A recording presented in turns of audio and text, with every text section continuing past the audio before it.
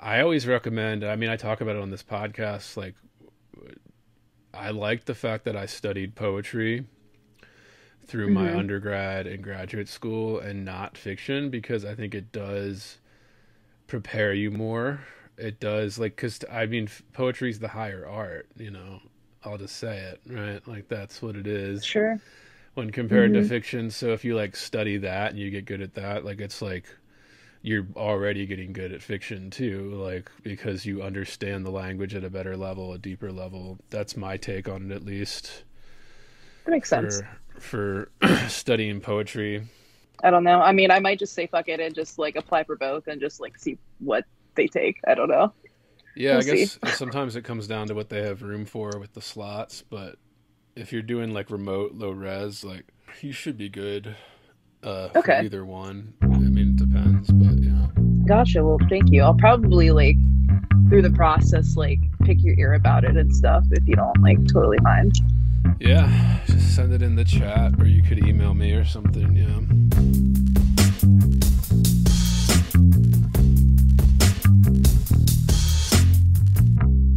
Heavy. Bored. Heavy. I am heavy, heavy, heavy. Bored.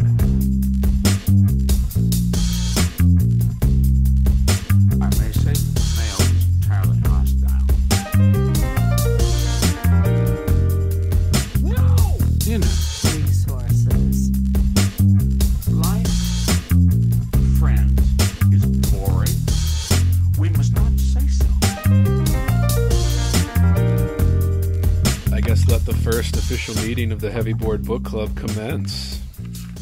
the first official meeting. And this is something we just started here on Heavy Bored, all you listeners out there. And this is this is going to be released as like a regular episode. So all of you out there listening, if you want to join me and Shaylin and uh, others in this Heavy Bored Book Club, where we do, I think I'm going to do it bi-monthly. Uh, I feel like that should be a good pace to start uh, sign up. Sign up at heavy uh, patreon.com slash heavy bored. Uh, in the double ply tier and above, you get instant access to this, whether you want to participate or not. And we're going to be, we have a group chat set up where you can just chime in, ask uh, suggestions, things you'd want to cover on the book club. And uh, we just arrange it on the group chat there on Patreon, and then we show up. So this is the official first meeting of it. So welcome everyone to the a first official meeting of the Heavy Bored Book Club, and uh, we have Shaylin here coming on in. How you doing, Shaylin? Pretty good, pretty good. How's it going? Happy Friday. yeah, it's a good Friday. Good Friday. And today's first meeting, listeners, we're doing Tender Buttons by Gertrude Stein. Uh, this is a book that I've always wanted to do for the podcast, and I thought it would be great for the first book club meeting because I think not that Stein doesn't get enough recognition; she gets plenty of recognition. Um, but this is like one of her only like published attempts at poetry, and I just thought like and I just find it so original and just so kind of out there, especially for the time. Uh, this was originally published in 1914. Mm-hmm. Uh, and uh, Stein herself, I mean, a lot of listeners probably know this, but Stein is just like was the epicenter of the modernist movement, and that's in poetry, uh, fiction. You know, Picasso was coming over her house all the time to ask her opinion. Like there, she was the mother of 20th century art, hands down. Like, and she literally had her hands in every single pie she is one of the most important figures in literary and artistic history, really. So I figured we'd start this off with giving Stein just her little, like, uh, a little nod to Stein with tender buttons here. Just the name itself, like tender buttons, like it. it I mean, I'm, i have this written down. We're going to get to it here, Shay, but it's just like the sound in this is pushing boundaries and even that like tender buttons. It's like this evocative like image and sound and all of that but as usual i like to start this off uh, with uh, what's your history with uh, gertrude stein or this book specifically or both or anything or anything else she's written? I know she only had a few books but. Yeah, my um, experience is extremely limited. I only really knew about her um, from the movie A Midnight in Paris, uh, where it had like her and like you know F. Scott and Zelda and everybody that like fictional film. But um, What's and I just know face? the a rose is a rose is a rose. Who plays her in that? Isn't that um, um Oh, I forget her name. uh, it's it's it's it's it's what's her name?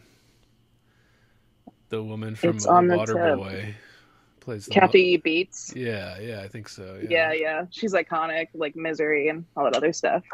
yeah. But that's about it. Otherwise, like this is, I mean, her actual work is completely foreign to me until recently.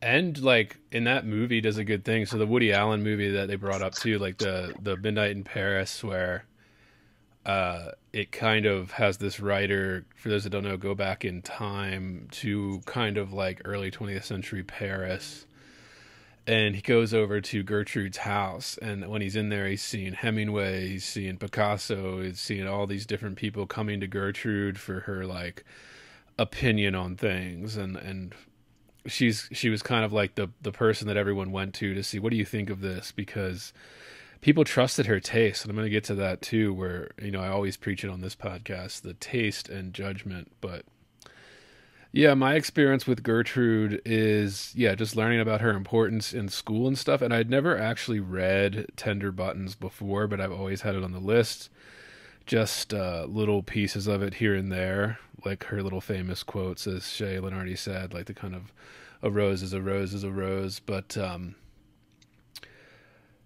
it's kind of unlike anything else you're going to see, especially for that time period in poetry. Um, so I guess the next question I always like to ask everybody is, uh, how did it read for you? um it was a very very humbling experience i remember like initially when i bought it i you know started reading it right away and just like on the first page i'm like okay like i get the premise of the first one to an extent but like i had to put it down i was just like this i don't know if i like this but then like after i like gave it a break and like dove back in like i i have a like while it's not necessarily my cup of tea um I definitely have like a lot of like respect for it and I understand like the premise of it given the time period. For me, yeah, I've similar like I think it's there's a lot of stuff in this that is doesn't actually work that well.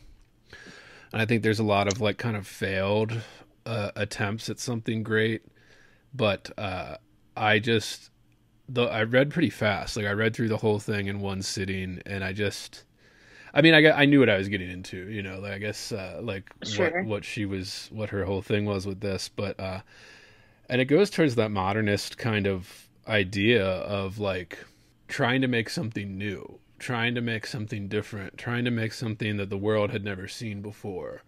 And I mean, that's something that I always stress in my own work, something that I stress to listeners or anybody that like is doing an artistic endeavor.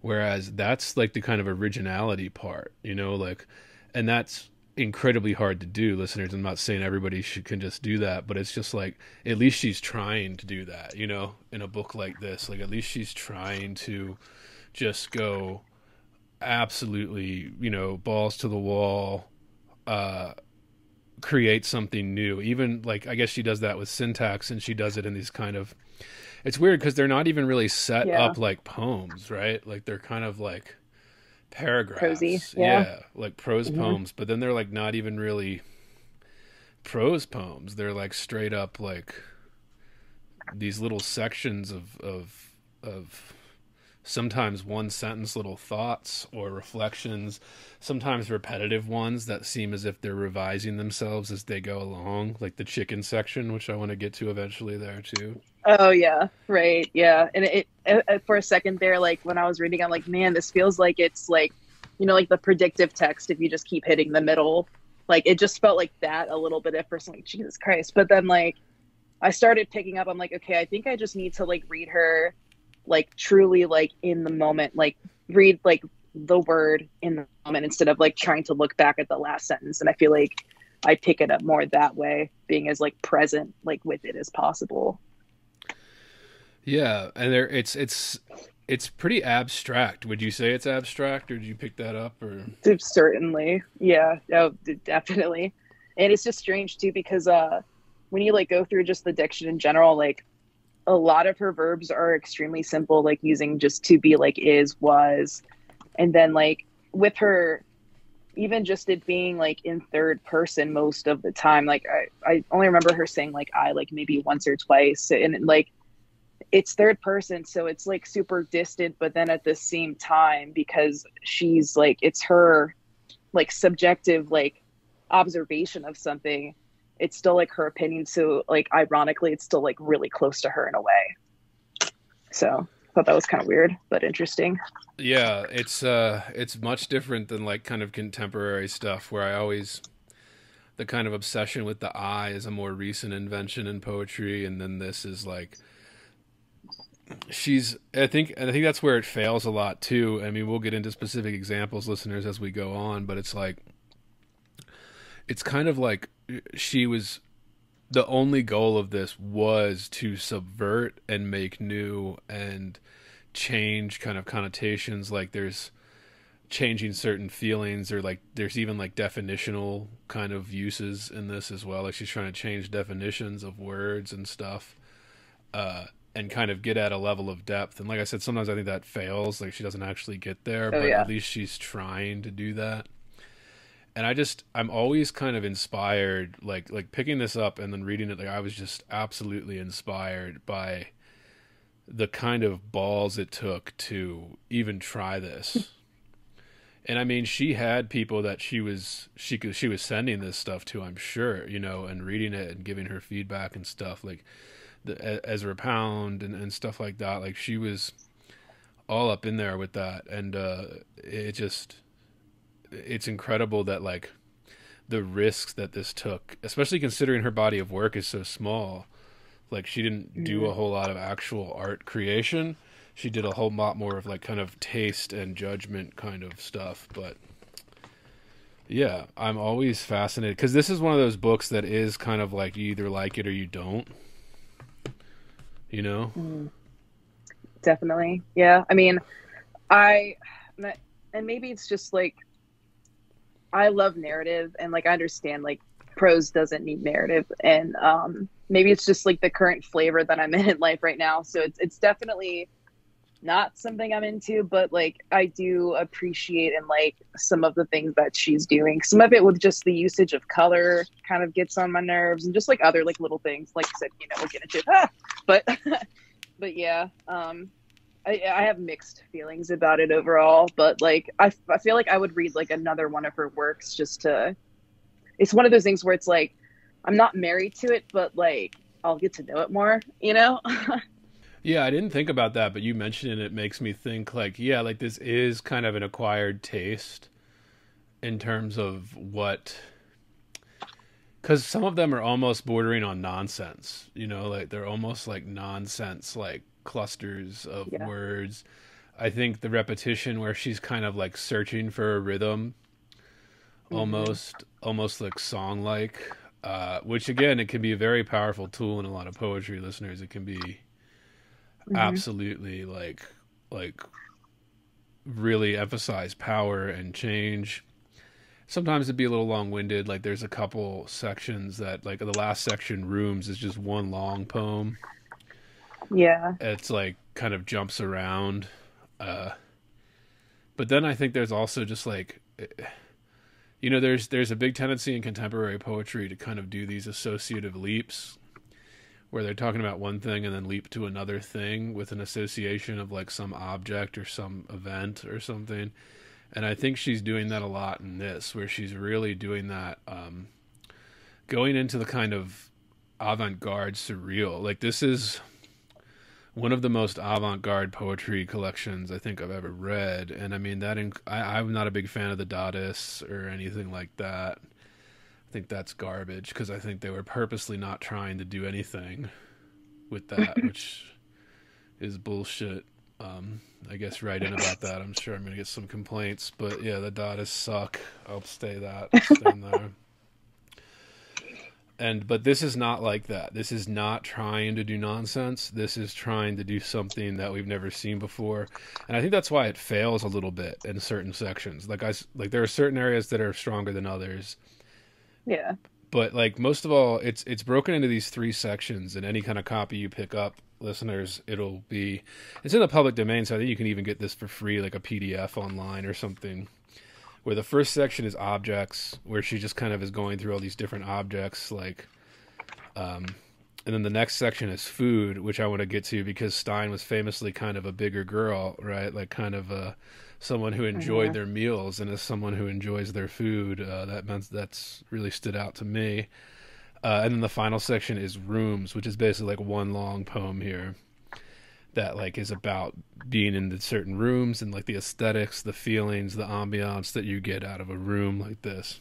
Well, I guess let's just get into it then. We'll just go right. Like it starts off with this whole like there are things in here that I think are just like there are moments of absolute brilliance. Mhm. And there's like moments I think like I said of failure. But I think the overall themes, let's touch themes first actually before we get to specifics. Uh, themes I picked up on, and then you know, feel free to run with any of these, Shay. Like uh, usefulness, I think is a huge theme, Mhm. especially in the objects section. And then, interestingly enough, taste, judgment, uh, I think subversion is a theme in itself. And then I said already definition, and also I think the kind of like the sound in this collection is off the charts, just fantastic. Like she is trying to create these new ways of putting sound into poetry that I have I still don't see anybody in the contemporary world trying to do. Like it is and it's not rhyme. Like it's not rhyme and meter. It is sound for like sound's sake, which is as many know, you know, the main thing in poetry. And it's just kind of like unbelievable. Like a piece of coffee was the one that I was Oh, uh, yeah. really just sound is off the charts. Glazed glitter. That's I mean the alliteration alone. Uh but yeah. I'd say almost every single poem in this is about like taste and aesthetic and the kind of judgment which I love. But yeah, what did you think about like anything Yeah, you picked um, up on themes, whatever? Yeah. Yeah, I, I saw like a, a lot of um I, I don't know a lot about her. I know like um because I did try to look at her bio a little bit. Like I know she was like a student of psychology and like I feel like there's a lot of like Freudian like sexual references in here that she like ropes in a lot. Like it's definitely Freud heavy and just like using um especially like in things like you see a lot of like I feel like domestic like references um as well is just like coming up for me mostly. Oh yeah, I mean, especially for the sexual references. She was famous. I mean, we I guess we don't know for a fact, or do we? She was gay. Uh, it's kind of obvious from, from like her biography and stuff, but you know, it was at a time when you were openly gay. You couldn't be openly gay. So, Oh yeah. uh, especially like that one roast beef that uh like definitely vagina Yeah. references and it's full of that and uh how like the vagina is glistening and things and it just kind of absolute uh It's like a lesbian manifesto. yeah yeah yeah yeah exactly yeah I'm about it. Hey. and uh, I, I like that, and especially in that food section, I think is maybe like the heaviest part of the sexual Oh, yeah. innuendos, which makes sense because kind of equating food to sex. Um, right. You know, everybody talks to like Seinfeld has that whole bit about it and stuff, like a whole episode about it, like with Mhm. George getting obsessed with like the pastrami during sex and stuff and eating Yeah. there there is a correlation between it like there is and i guess it's just like pleasure seeking like just kind of if we wanted to broaden not say just sex but like pleasure seeking and i think Sure. eating is like a part of pleasure seeking like Little gluttony, right? You know, yeah definitely. even that like i mean i'm somebody who loves food and eating and there is an immense kind of pleasure you get from it it's like any of the kind of things it's one of the I mean in the 20th century it's it's i mean it's at least 21st century now we we do it's so different because food is so apparent. It's everywhere. Like it's very abundant, particularly in the U.S. here. Like you don't need to pay a lot of money for it. It's everywhere, and like the majority of the country's obese. Like we just love to like gorge ourselves on food, and there there is something to that. I think of kind of an indulgence or like a pleasure in indulging in something like that. Like, and even back then, I feel like she was wealthy. Yeah, notoriously, like, kind of. I think she came from a wealthy family, and she just kind of had this Right. trust fund that she lived on, and she had this like townhouse in Paris that like, everybody would go over. And basically, yeah, she just sat around and like read books and like wrote books and like ate probably and had like coffee and tea and smoked and cigarettes and uh cigarettes another thing that's about pleasure Right. And it's interesting too because we're like, granted, I, I know like she was American born, but like was in Paris like through like all this, but like uh even just like this was on like the brink of like the suffragette movement as well, which I thought was like really interesting for her to come out with something so off the wall and then be a woman on, on top of it, you know, is always like great to see. Yeah, and I mean, I don't know how involved she was in that, but uh Yeah, I'm not sure either. I know she didn't give a fuck and she I mean, well, I guess she cared about appearances and fashion and stuff, but she she definitely didn't care about yeah, like I mean, you look at something like this like how kind of the risk she was taking cuz I imagine uh you know, this would get criticized by people that um don't understand what she's trying to do with it where they're like, "Oh, it's nonsense. It doesn't make any sense." But like she's trying to change sense making itself almost like this kind of i said subversion as a theme and kind of definition she's almost she's changing definition or at least trying to with some of this Yeah, and I'm just curious on what her like editing process was, or if like how much of that was even involved, or was it like before the beats made it famous, the whole you know stream of consciousness writing? That's also something I'm curious about that I don't like really know about her. yeah there's a lot of stream of consciousness in this too there's a lot of Yeah, uh association with that too like i guess you know the big one virginia woolf which we covered on this pod Mhm. listeners right like she was a master of that. And that makes it sometimes i know readers struggle with this too sometimes it makes it difficult to read when you're doing the stream of consciousness and you're just jumping from like internal monologue to internal monologue. It really makes it difficult to read and i always struggled with that. Uh modernists love that and i mean so it makes sense that she's trying to like participate in that too i really i mean a lot of novel writing is that now too or a lot of not so much poetry really but novel writing right now. They're still kind of doing that but not as kind of masterfully. I always say like virginia mm-hmm. woolf used like every tool in the toolbox to really make that special and she did these short little novels that were just so honed and crafted.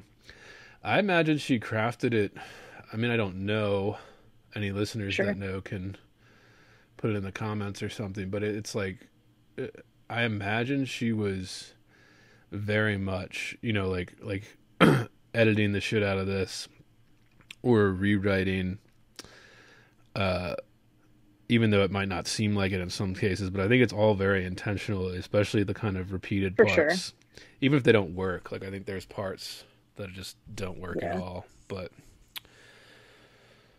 what uh, what stood out to you at first?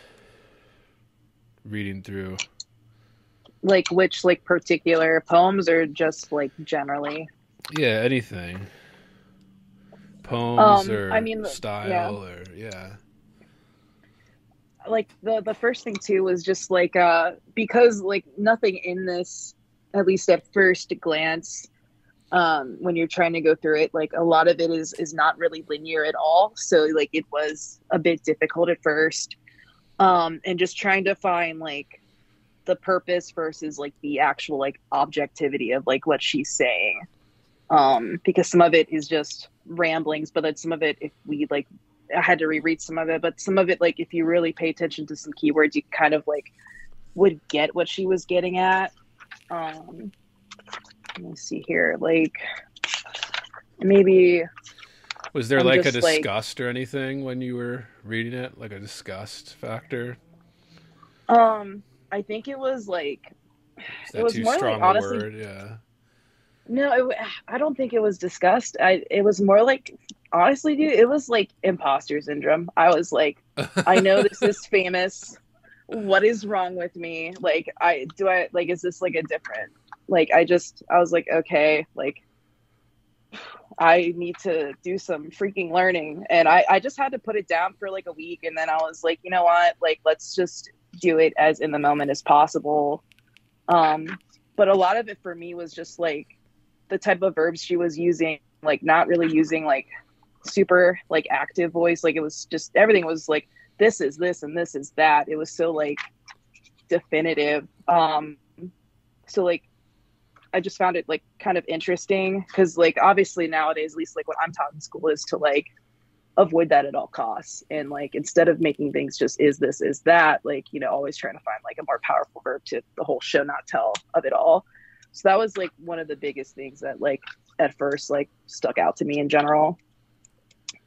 Yeah, I get that, and I think it's it's difficult too, like when you're reading something like this, because like a novel that's doing something like this, you could kind of eventually learn how to read it, but this doesn't really establish like a pattern or anything that you can kind of latch onto and be like, oh, I see what they're doing. It's like uh, it's wild. Like that's what I think I got kind of exhilarated reading this because it was just it's so wild. It's so out there. Like she was one of the first really avant-garde poets to try and do this even if it fails at times. It's like i just admire that so much. I admire that like she's because you know I, i've been working on this essay and this is a scoop for listeners and all that and where i'm i'm talking about how we don't even know what the avant-garde looks like right now. Like people don't even know what it is and they keep referring to the avant-garde of the 1960s and 70s and saying oh that's avant-garde. But that was 50 years ago. Like that was the avant-garde 50 60 70 years ago. And this is the avant-garde 120 you know 100 years ago 110 years ago.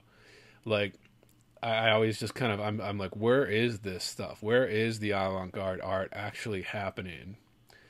Uh and i the whole reason I started writing this. Did you see Beau is Afraid, that uh, Ari Aster movie?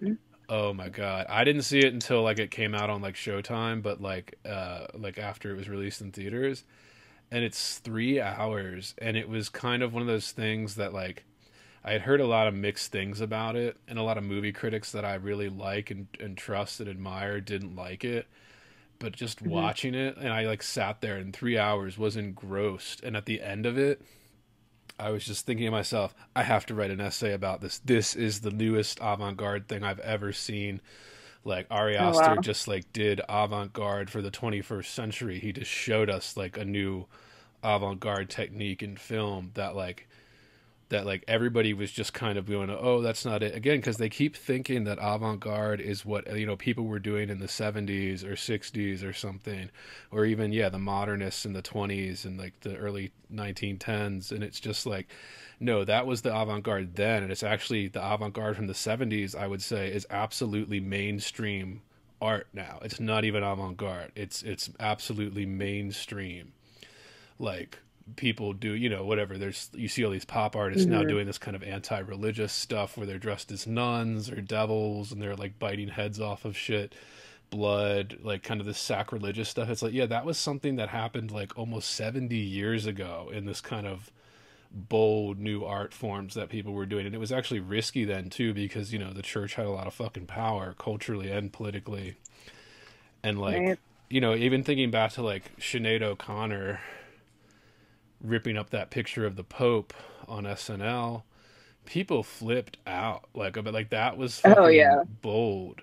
So, but now somebody did that, like nobody would give a shit. Like that isn't risky. That isn't avant garde. It's been done. It was done, you know, 35 years ago now, and it's just kind of like. I guess what I'm trying to say is I just found this refreshing, like just kind of how wild it was how how much it was trying to do something like, even even if it sucks like even if you're swinging for the fences and you miss I just admire that so much in in art making, particularly poetry. And I did get like Berryman vibes and stuff like that. I did get like the vibes of great poets that I had admired that came after this. And I think that there's that's not an accident, you know, like that's definitely Oh, sure. yeah, something that I was picking up on. Maybe it's just me or whatever, but And then there was one thing I was just like reading about her in general, and apparently, and I'm not too familiar with the term. Like I know it in like actual art, but she was trying to say that like, especially because she's so influenced by like Matisse and like Picasso, um, was that this was essentially like a written version of Cubism, which I, I found kind of interesting because even just going with like with the carafe because it's like a kind a kind in glass and a cousin, a spectacle and nothing strange. Um, it's like you're starting inside of the actual carafe and like going out when you're like reading like the word associations in there. Um, because she's like the difference is spreading at the end, and it was just kind of like a weird way because it's not like you're necessarily looking at it like on every single little side, but it's like she's starting like within and spreading out. And I thought that was really interesting. It was a really strong like first poem at least because I was like, okay, this is a little different, but like I think I pick up what she's putting down, you know. Yeah, I love that you say that with it's like it is. It is this kind of cubism and the kind of modernist art that was going on. Like you can tell she was inspired by more than just the poets and stuff and poetry that was happening in fiction. She was inspired by these artists that were doing things people hadn't seen before. That were actually taking things that could be considered ugly and trying to do stuff with them. Like like like uh, abstractness, not for abstractness sake, but abstractness to to create some form of beauty. But yeah, right. especially yeah, glazed glitter was the first one that stood out to me, and, it, and she does this a lot. Like that first nickel, what is nickel? It is originally rid of a cover. And there's kind of this, what is this? You know, she'll say the term and then ask, what is it? And that's where I get the kind of definition thing. Right. and just like the change in that is that red weakens an hour the change has come there is no search but there is there is that hope and that interpretation and sometime surely any is unwelcome sometime there is breath and there will be a sin- sin- sinecure and charming very charming is that clean and cleansing and then my favorite line in this certainly glittering is handsome and convincing. Right.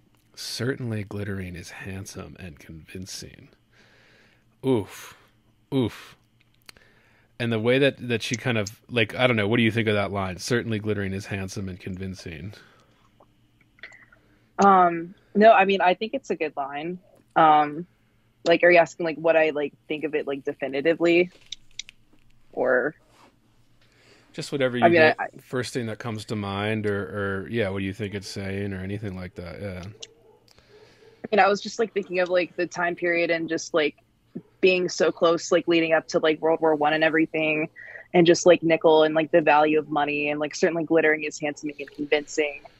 Um, yeah, I was just I was just getting just like about like the economy in general and like what is worth to us was kind of my vibe, but yeah the kind of sparkling jewels money uh crystal glassware considering we're in the kind of the objects section of this book the very first section it's like so literally it's just these kind of objects uh the Mhm. carafe in the first one a cushion in the one after this the kind of glazed glitter and this kind of I, I think yeah it's certainly glittering is handsome and convincing and i think it is kind of convincing you of its value, right? Gold glittering, silver glittering, crystal glittering, um, diamonds, you know, uh, these things that we put immense value on. And it's almost like uh, uh, she's kind of giving us that acknowledgement of it. I, I don't know. I mean, that's what I, yeah, I got something similar from it. Yeah, there is no gratitude in mercy and in medicine. oh, I love it. Yeah. Uh, and yeah, because the- that's when it makes sense because it transitions there, and you're like, oh, okay, cool. Where are we getting with this? She's like trust fundy. It's like, all right, but yeah, And I think it just hits at something like there is no gratitude in mercy and in medicine. And I mean, it's a little abstract because the medicine tacked on at the end there, but it's also like there's no gratitude in mercy. And I think that's also, I mean, this is what we always talk about with art these kind of universal truths, these kind of things that hit at some vein in the in the, the common humanity that they whenever you you know mercy is often treated with ingratitude or or or uh, they just take advantage of it or something in a lot of ways. But yeah uh, it certainly showed the last line of this is one of my favorites. Uh, it certainly showed no obligation. And perhaps if borrowing is not natural there is some use in giving Right. perhaps if borrowing is not natural. I had that underlined because I was just like, oh, yes. Borrowing is not natural. There is some use in giving. Yeah. And I think also like whenever I was just like reading this in my head, I was it was like a little hard, but then like when I would read it aloud and like it helped me like break it down a lot more too. Kind of like when you're doing drafts and writing, it was kind of like the same thing. I was able to kind of like pick up other stuff as well and see how it was actually more cohesive than I had like originally like realized. Yeah, and I wasn't crazy about a substance and a cushion. Uh, there was No. just like one line in particular that I liked uh, out of the whole, and that's one of her longer ones in this first section. Where uh, what is the use of a violent kind of delightfulness if there is no pleasure in not getting tired of it? Yeah, I had that underlined too. And it goes with that kind of what we talked about already. Like she was food, smoking, drinking, uh, monetary indulgences, uh, fashion, uh, uh, all of that. What is the use of a violent kind of delightfulness if there is no pleasure in not getting tired of it? Fantastic. But I really want to talk about a piece of coffee. Uh, that was one of my favorites, and this is one where I just thought that like uh, sound was kind of going off the charts, where like she Mhm. was just really going going all the way with it. Uh, oh yeah, she likes alliteration, that's for sure. yeah, a piece of coffee is not a detainer. The resemblance to yellow is dirtier and distincter. The clean mixture is whiter and not coal color. Never more coal color than altogether. Never more coal color than altogether. Just like popped off in my head, where I was just like, this mm-hmm. woman is a master. Like this woman is just hearing these things click together and putting them on the page, even if they don't make sense, which could be kind of the cubism influence and stuff, but like never more coal color than altogether. And just like the way that hit me, I just couldn't get over it. Yeah, because it's like obviously like black is a shade, so like I get like why she's saying not coal color, and like white is like all color. So like when I went back to thinking of how she was talking about how this was like cubism, like a literal like a writing version of it essentially. Like I was just also like reading this and just thinking of like a palette and like okay, she's literally mixing these colors and like speaking it instead of you know sitting there and mixing it up with a palette knife and throwing it on a canvas. And the reference of coffee, right? Coal color Mhm. and a piece of coffee, like a piece of coal, Right. but a piece of coffee, right? And you could have like Right. either a coffee bean or whatever it is, and I think that's supposed to be a little abstract as well. Like, Yeah, that's what I assumed. Yeah. but yeah, I just couldn't get over that line. It's one of my favorites. I'll get to my favorite line in this ever, but never more cold color than altogether. Where yeah, you're talking about that palette being smeared altogether, never more cold color than altogether. The sight of a reason, the same sight slider, the sight of a simpler negative answer, the same sore sounder, the intention to wishing, the same splendor, the same furniture. Again, that kind of that is so sound forward, like and this is what made me think of like the dream songs and stuff too, even though this is, you know, many years before that. I Mhm. just unbelievable level of of making these sounds click together. I know there's like I had a teacher who would always say like the most beautiful kind of like sound in the English language is like cellar door. And I was always thinking like, uh, I don't know if I agree with that, but never more cold color than altogether. I just like, woo, that might be one of the best sounding things. and it kind of creates a rush. Like, are you you're into Ginsberg, right? Like Howl, hmm and I know Howl is like inspired by Whitman stuff, but I'm sure you know Stein was reading Whitman as well, and just kind Sure. of that the the the when you have these long sentences that just keep building and repeating, it does add a kind of urgency to them. Like that section i read about the sight of a reason. It just it just i mean there's something that it creates in your head when you read through it. And some of this stuff you do have to read out loud like like to really get what she's Mhm. going for. Especially with that one because it's so like comma heavy that specific line. It it it does urge you like even though you don't have like you know your um i can't think of the word right now but you know like your line breaks or whatever um, enjambments. And uh it, it forces you to breathe. So it it does kind of like make you feel that's that like with that, that faster pace or whatever it does give you that sense of urgency yeah i wanted to ask you are, would you call these prose poems Yeah, yeah, I would just because it doesn't like at least like my general understanding of prose is that like it doesn't like it doesn't have a goal and there isn't like a conflict. So since it's not a story, it's prose. And there's no like yeah line structure other than like a paragraph basic paragraph structure. But I was Right. I was I guess I was tossing this back and forth because I was like, all right, like a lot of them I would say yes, are they seem like they prose poems, but then some of them seem like they're kind of half formed. Like she's almost Mhm. playing with the prose poem form too. Like uh, some of the Oh, one yeah. sentence ones maybe I mean that was big in modernist stuff. Everybody points to Ezra Pound, you know, people at the Metro or whatever. Uh, but yeah, I couldn't quite decide if if I was calling these prose or maybe even like creative essay type. I mean, I don't know because they're not quite essays either. They're not. Yeah, because it's it's just so spatial, you know, in like a sense. Like it doesn't have like I mean it's it's just so like subjective because they're just viewing something and like they're it's it's just kind of like inner ramblings on a page and it's just really pretty ones in a sense. And I just think like that's why I say it's it's so much of it is about taste and judgment. Like she's making judgments about aesthetic and stuff like with the colors and stuff. The references to um uh we we get to um my favorite line in this whole thing any little bit of green is ordinary and uh Mm-hmm.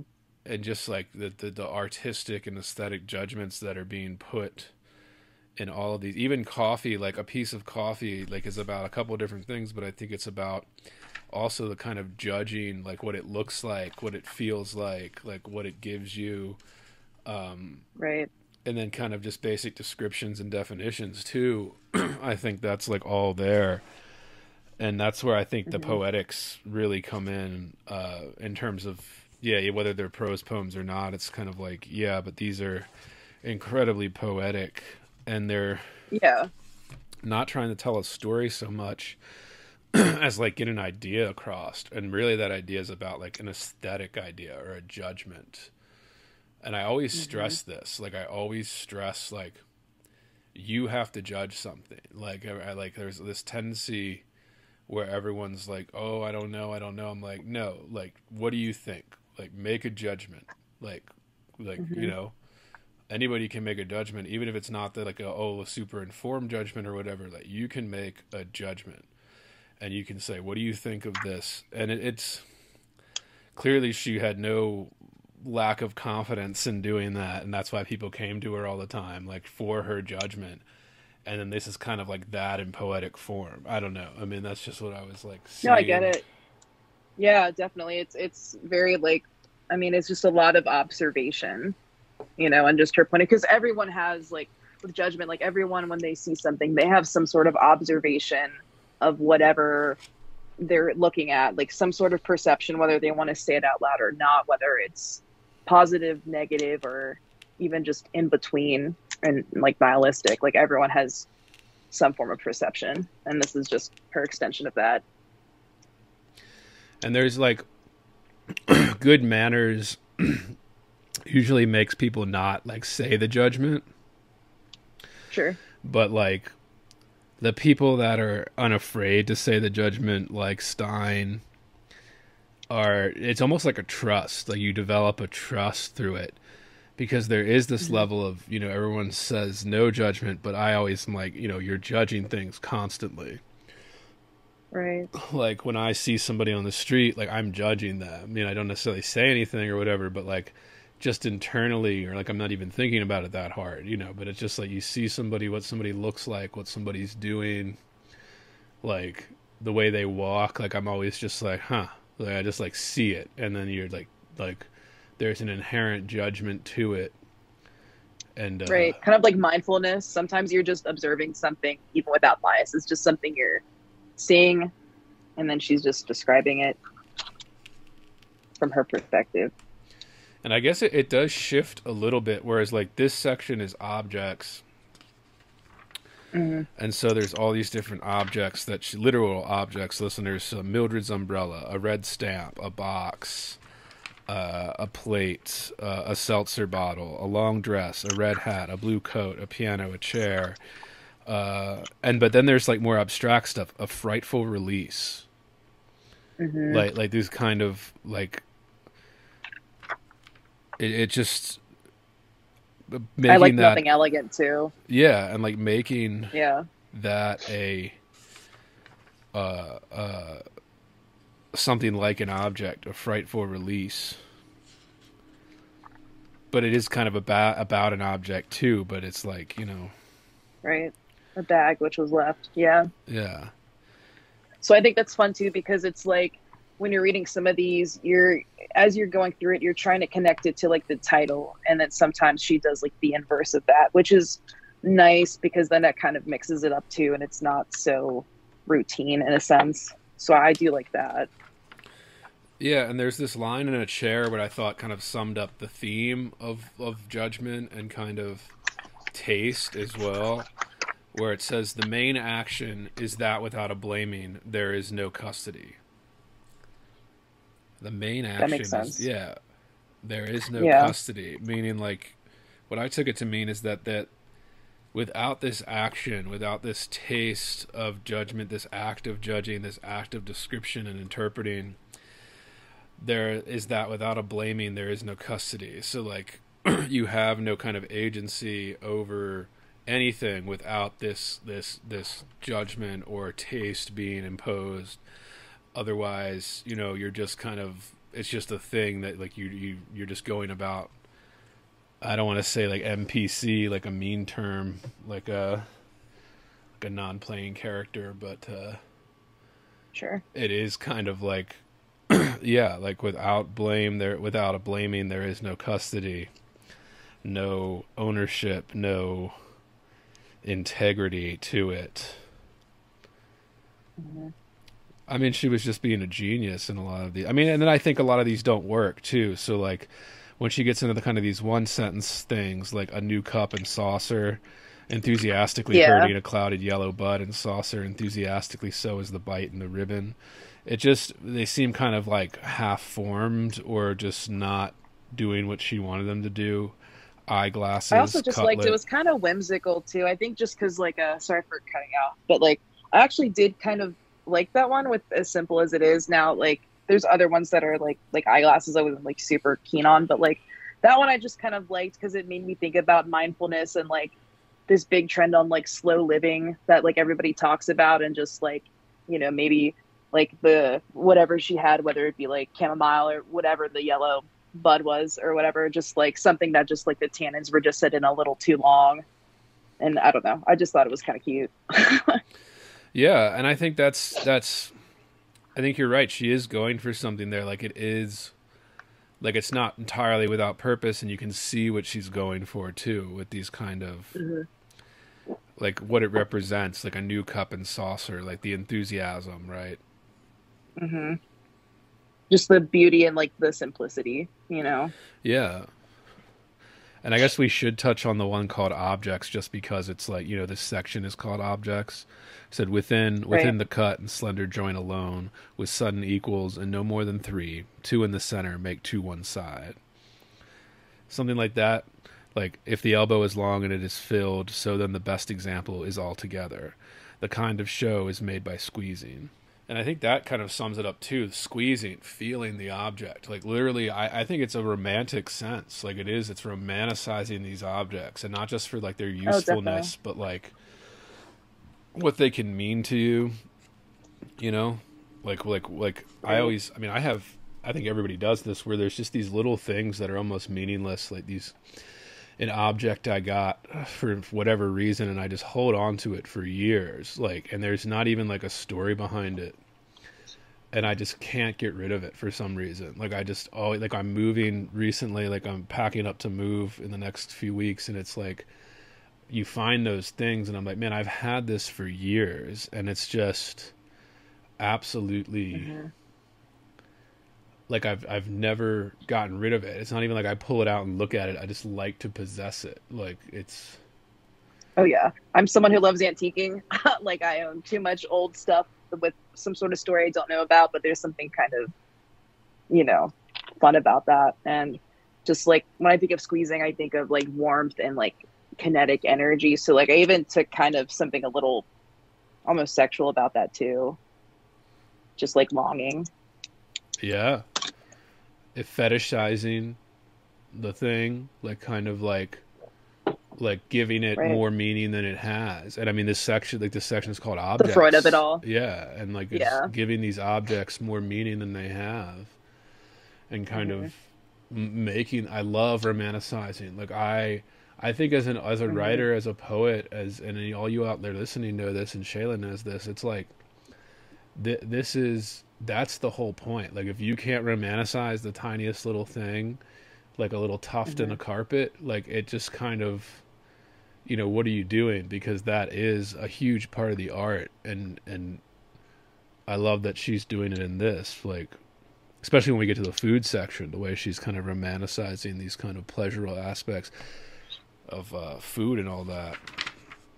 I think there is like a there's something like really brilliant to that too when you find like mundane objects like this and just like essentially restore it in a in a way that like it's actually like a lot more magical than you had maybe like originally like perceived it to be i think is like a really strong way to like show like you're a good writer. Whether like we can argue about like narratives whatever if that's your thing but like when it comes down to it like taking something and like bringing magic or life to something inanimate i, I think is like really touching Yeah, I mean even like yeah, a little bit of a tumbler, like so. I mean, implies like some type of like piece or something. Mhm. Uh, a shining indication of yellow consists in there having been more of the same color than could have been expected when all four were bought. This was the hope which made the six and seven have no use for any more places, and this necessarily spread into nothing. Spread into nothing. It is kind of like necessarily spread into nothing. I mean, Mhm.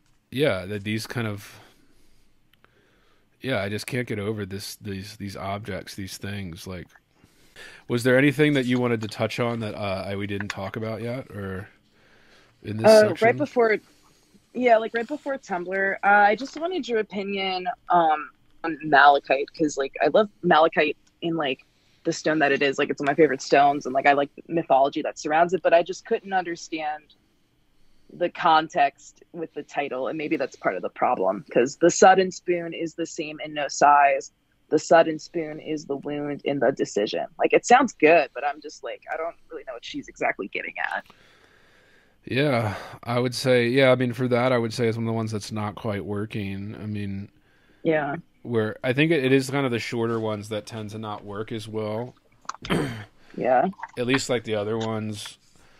But yeah, Mhm. I, it sounds good. The sudden spoon is the same and no size. The wound in the decision. Yeah, I mean, I, yeah, I don't know. What did you get out of it? What did you think when you were? I, yeah, it, it honestly just kind of stumped me, and I was just curious, honestly, on what your opinion was of it. Well, I guess spoon can mean so many different things. With Right.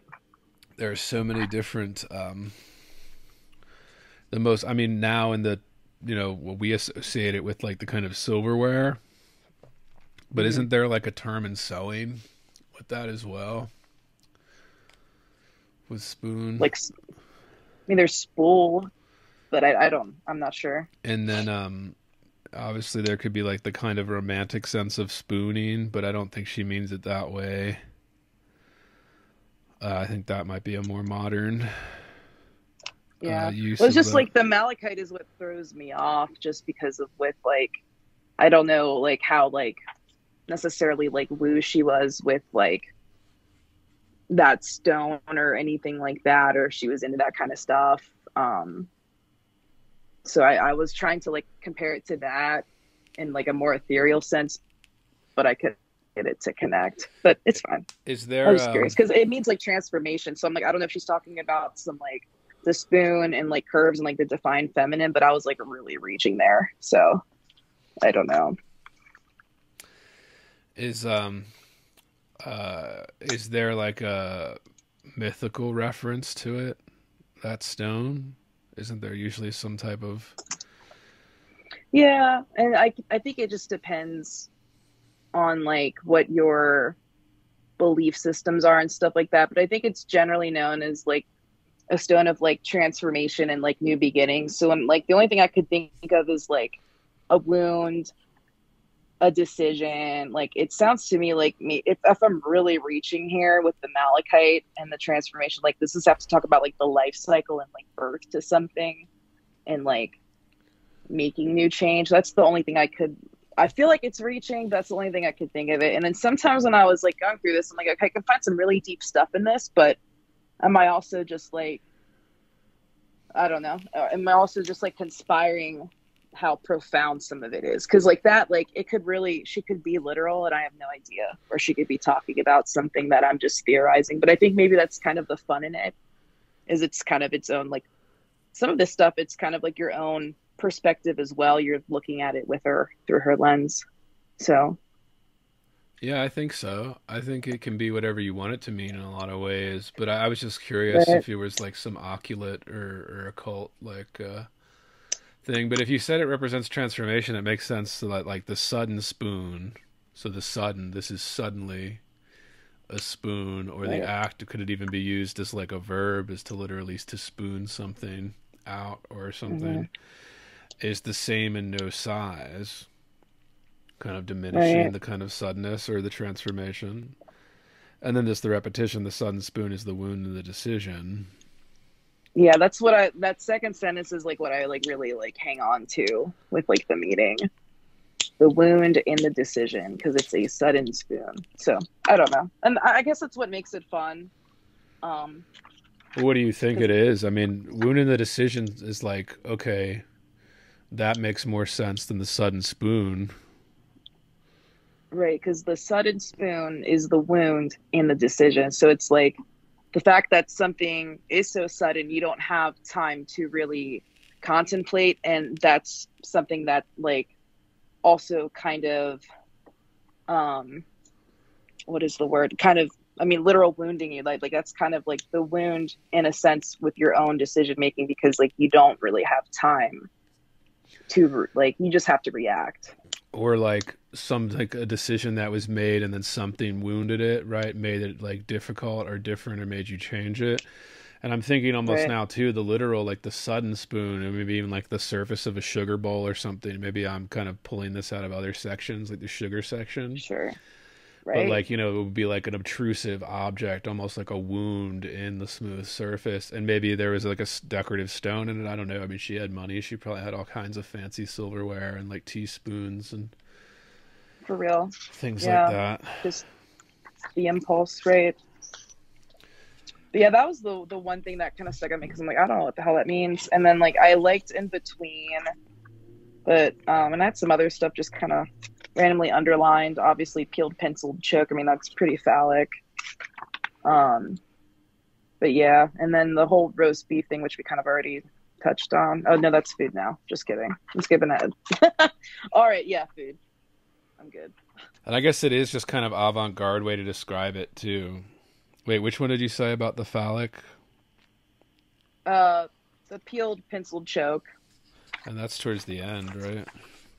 hmm Yeah. Yeah. Rub, rub her coke. Right. I'm like, okay, that's pretty blatantly sexual. Um, it's just more of just me reading it in the present and then I was just like like how much of like the complexity was like made with purpose you know but i mean you could say that subjectively with like every single thing in here that was just like a random note i just put at the end of each section since it's not like the they're really like numbered or anything since they're just all their section i try to put stuff in between and then try to write down page numbers and stuff yeah it's for listeners that haven't read it it does kind of just go through one after the other. There's like maybe a little title thing, and then it just keeps going. One of there's no page difference. It's not like separating them. It's connecting them. Even the only real separation mm-hmm. are the sections. You know, objects, food, and then rooms are like the this only thing that separates the kind of sections or themes. But it is, and I think you make a good point. Like it is meant to kind of jumble it all together. It's almost like all the things she mentions in this you could just be sitting in like an old drawing room or something at that time in that old Paris house, townhouse, and like you could look around the room and each one of these things you could see, you know, a coffee setup, a spoon, a book, shoes, um, tables, shawl, peeled pencil. Right. And then I think, yeah, like the parts that don't quite work as well are like I, I think I can see that she's trying to do something and then maybe doesn't quite get there and then just says, "Ah, oh, screw it," and then moves to the next one, you know. And I think mm-hmm. she kind of intentionally left those in there too, because I mean there is value in the attempt, and you know, like uh, maybe there's an overemphasis now in per- imperfection mm-hmm. or or not including failed poems in collections or something as you're moving through I don't know. I mean, I'm just thinking of that now. Right.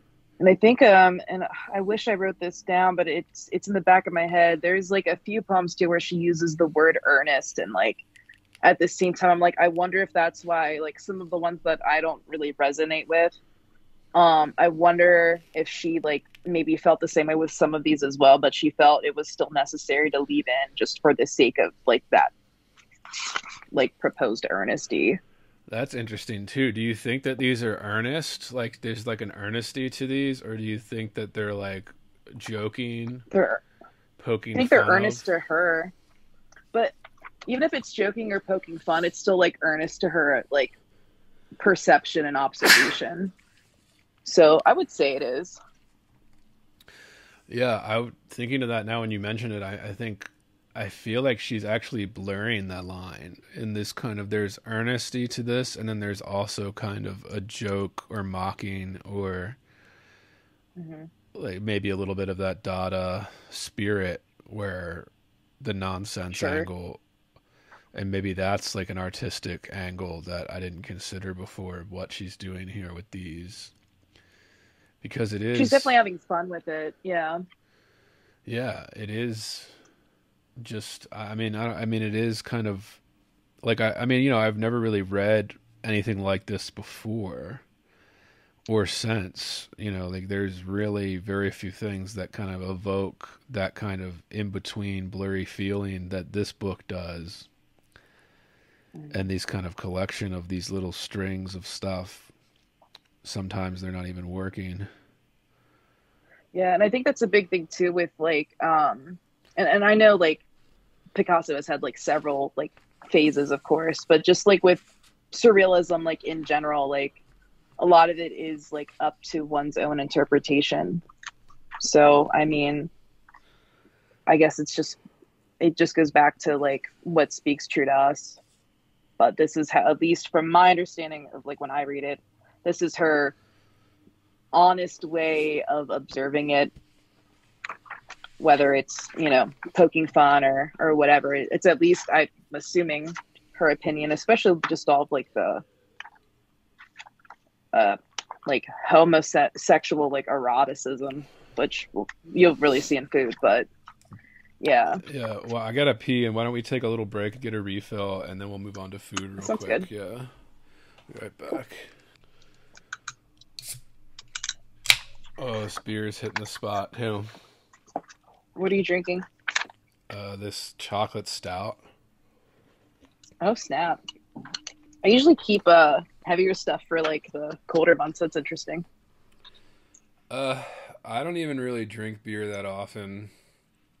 Uh, Oh, my- okay. My wife is currently pregnant, but when she drinks, she always likes to get kind of seasonal stuff. So I actually have some summer stuff in like the mango cart. Beer is big in summer. Oh yeah. So there's uh you know, I could have been drinking that, but I was just I don't really like sweet drinks, like especially alcohol. Really I don't like any type of sweet beverage. Maybe chocolate milk is as sweet as it goes for me. Uh but I don't know, I've just yeah, it was been a stressful day and I was just like, yeah, this actually is a maybe I'll just drink this. And I'm out of scotch.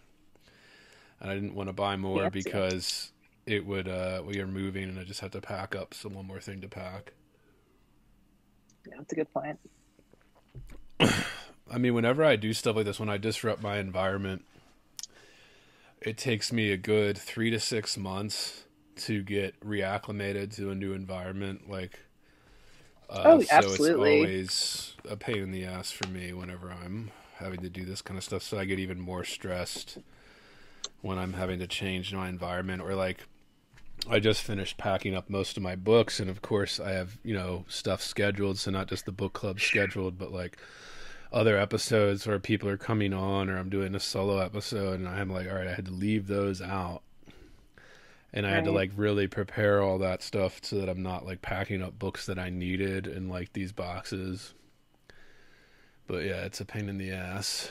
Uh, Yeah, moving sucks. Then you're you're doing this plus you're also teaching, which is I'm sure its own headache, and then you know the stresses of of just you know the whole process of the pregnancy. Congratulations, by the way. Is it your first?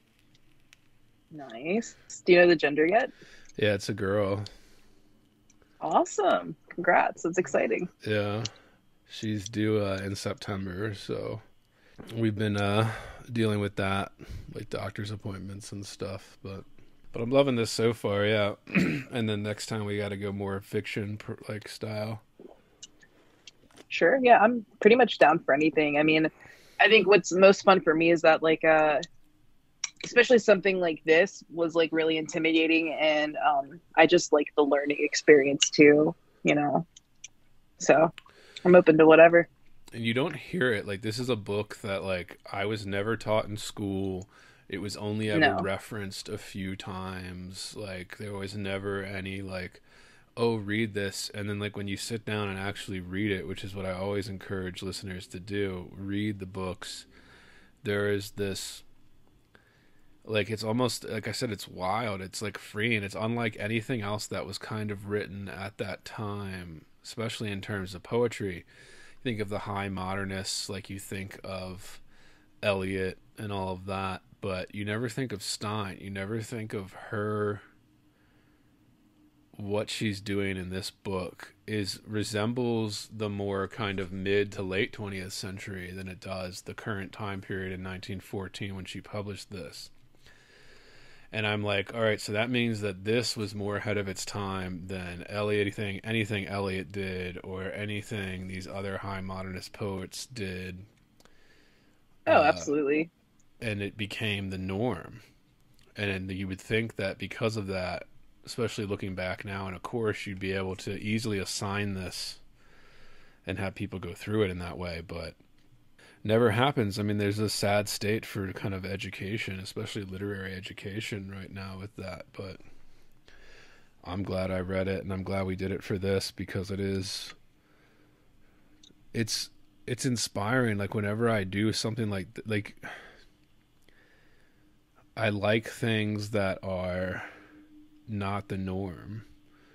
Things that are going off the edge a little bit and this does that, you know, like this really hmm this isn't some confessional. I mean, confessional hadn't even really been a thing yet. This is Right. this is uh, abstract, kind of avant-garde um, evolution in poetry writing.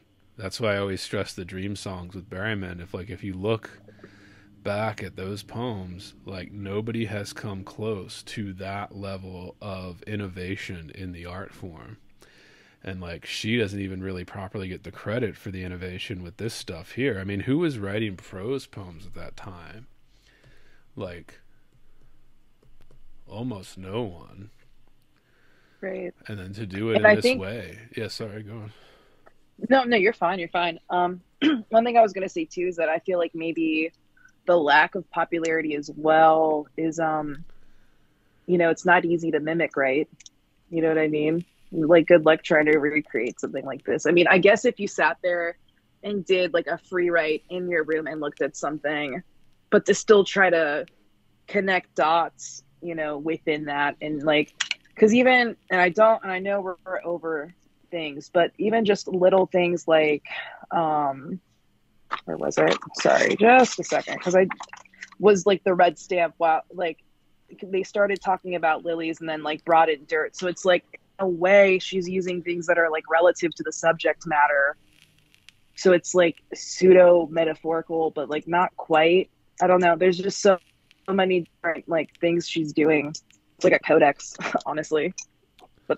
That's what makes it entirely original at the same time. Yes, I mean that's the art. Like that is the innovative part of the art. Like like Yeah. I know I always shit on Instagram poetry and all that, and uh, everybody else should too. But it's just like those are so expected. Those are the reason those are bad. Usually is you know all the other reasons, but the main thing that irritates me is that it's not original. It's not new. It's not anything that you couldn't read in an emo song lyric or anything from 30 years ago. And it is kind of like you know that it causes a stagnation in the art and you know whatever it's hard to be innovative it's hard to do that i'm not saying it's easy even in stein here we've already talked about a few things that like fail it doesn't quite work all the time but like Right. you know those innovations really even if they don't catch on right away well 20 30 years later like they do catch on and and people start to emulate it character work and stuff whereas right now it's kind of an obsession with either confessional or narrative work and uh I like that she just doesn't do that. And again, it wasn't a big time then that they weren't really doing I guess Eliot was doing Right. narrative, but like they weren't doing a whole lot of narrative or confessional didn't even really exist. It was still kind of passe to do that. but Mhm. uh, although I guess there's you know there's some confession to kind of all do art doing that, but Sure. yeah, let's uh let's move to the food section, and this was my favorite section of the book probably. Um, one because I said I already like food is great. I love food. I love turning it into poetry. I like the fact that you because food is such a huge part of living, and we talked about not just like an indulgence, like you know rich foods and she was wealthy so she was able to have all these rich foods and like fruits and stuff all the time especially at that time uh post world war one I, guess or right at the beginning of world war one Yeah. um in paris and it just and i guess the french were famous for the kind of indulgent dishes like the most complex pastries and stuff are usually french Oh yeah. French pâtissiers, yeah. I'm I'm a big fan of British Bake Off. I'm gonna like an idiot here, but hey, it's a guilty pleasure and there's just it's just so like tedious, just every little detail like is just so like intricate and like everything like serves a purpose. Um, And you Yeah. think about that, part of that is because the French dominated at that time a lot of part of the globe, and you had to have this level of indulgence to even be able to do that. Like, you know, to be able to refrigerate or ice down butter before you're mixing it into something because that affects Oh, how yeah. it's baked is a luxury, you know, a huge luxury, especially if you go all the way back 1700s, 1800s. Like, this is a huge luxuries that you can only have with these kind of empire states that, uh, again, created these innovations and the kind of what you get out of it. And then we all still enjoy it to this day. You know, hundreds of years later. But I like that food is included. And we already said this Stein is was kind of a bigger girl, kind of a tubby girl. She didn't shy away from these indulgences. And I guess back then it probably was still like like being fatter was like a sign of wealth still, like uh as opposed to now where a sign of wealth is like being thin. Uh and Or your Botox, you know. yeah. Well, that's the thing. Yeah, is like all the poor people are all like morbidly obese now, and like at least in the Western world, America, and then uh, uh, all the rich people are just like thin on like steroids or something, and uh, it's uh, it's like a sign of wealth now to be like in shape. It's almost done the total inverse. But yeah, food. And this section is the longest section in the book as well, uh, which again says something. And it isn't just quite, you know, it isn't so simple either of just like roast beef. It's much deeper than that. But food and sexual Mhm. pleasure, which we've been getting to. Um, but yeah, roast beef. What did, what did you think of roast beef? Yeah, I mean, it is definitely for me at least like it, super sexual. Um, definitely like lusting gluttony going on here. Um, I would say it's a lesbian manifesto. That's definitely still like my my five second take on that. if I was just to sum it up. There it is. Kindness is not earnest. Okay, it's yeah, it's it's in the middle of uh tender buttons. But anyway, And this is probably the longest poem. Well, besides Rooms is probably the longest, but this is the longest poem in this section. Right. roast Yeah. beef, and uh, you say, okay, the poem's called roast beef, but it doesn't even start with like a food thing. It says, in the inside Yeah. there is sleeping, in the outside there is reddening, in the morning there is meaning, in the evening there is feeling. Again, like Sh- Shaylin already said this, like sex. I mean, that screams sex. Um, in the evening there is Mhm. feeling. In feeling anything is resting. In feeling anything is mounting. In feeling there is resignation. In feeling there is recognition. In feeling there is recurrence. And entirely mistaken there is pinching. All the standards have steamers, and all the curtains have bed linen, and all the yellow has discrimination, and all the circle has circling. This makes sand. yeah. This makes sand. Fantastic. you go, girl. You Yeah. know, fuck. V- yeah, Good for you. and, and and there is like there's some reference to to like slicing like sliced roast beef for sandwiches or something. Uh very Mhm. well. Certainly the length is thinner and the rest the round rest has a longer summer. To shine. Why not shine? To shine to station to enlarge. To hurry the measure all this means nothing. If there is singing. If there is singing then there is the resumption and it is kind of almost random in terms of it going off that Yeah.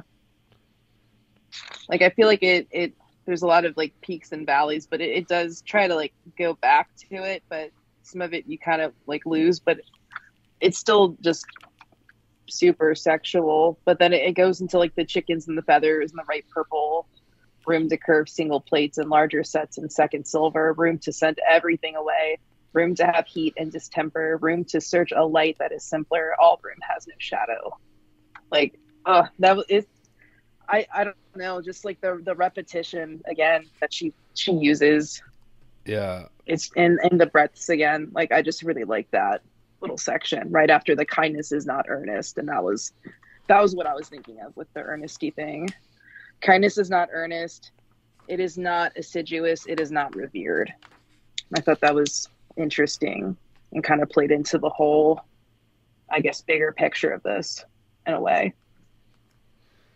yeah there the difference is that a plain resource is not entangled with thickness and it does not mean that thickness shows such cutting it does not it does mean that a meadow is useful and a cow is absurd because cows are kind of an insane animal yeah and when you Oh, think yeah. of beef kind of like the purpose of a cow literally i mean how the fuck did that develop like it's mostly veg- it's vegetarian it just it grazes on grass and shit and then he just produces milk and that's it. Like beef, I guess, is like the big product that we get from cows, beef and milk, but Sure. and it's so they're so huge. Like Yeah. they're so big and just kind of lumbering and they don't even really do much. They're incredibly kind of docile for large animals too, like Right. I guess the the female cows at least, the bulls are not, but Sure. my favorite part of the roast beef is uh please be the beef. Please beef. Pleasure is not wailing. Please beef. Please be Yeah. carved clear. Please be a case of consideration. And it's just like oh yeah that that was my one of my favorite parts of this whole section. Please be the beef. Please beef. Pleasure is not wailing. And uh, I think I saw like um, a couple paragraphs up. Um, she talks about coal and copper again, kind of like akin to like the first section, which I thought was kind of in good taste. Um, color is in coal. Coal is outlasting, roasting in a spoonful. A whole spoon that is full is not spilling. Coal, any coal is copper. Because I love the copper poem. Like I don't know why. I just I love that one. So I don't know. I just kind of liked how that was very slickly referenced in there out of nowhere, but I liked it. Yeah. And it kind of like color is in coal.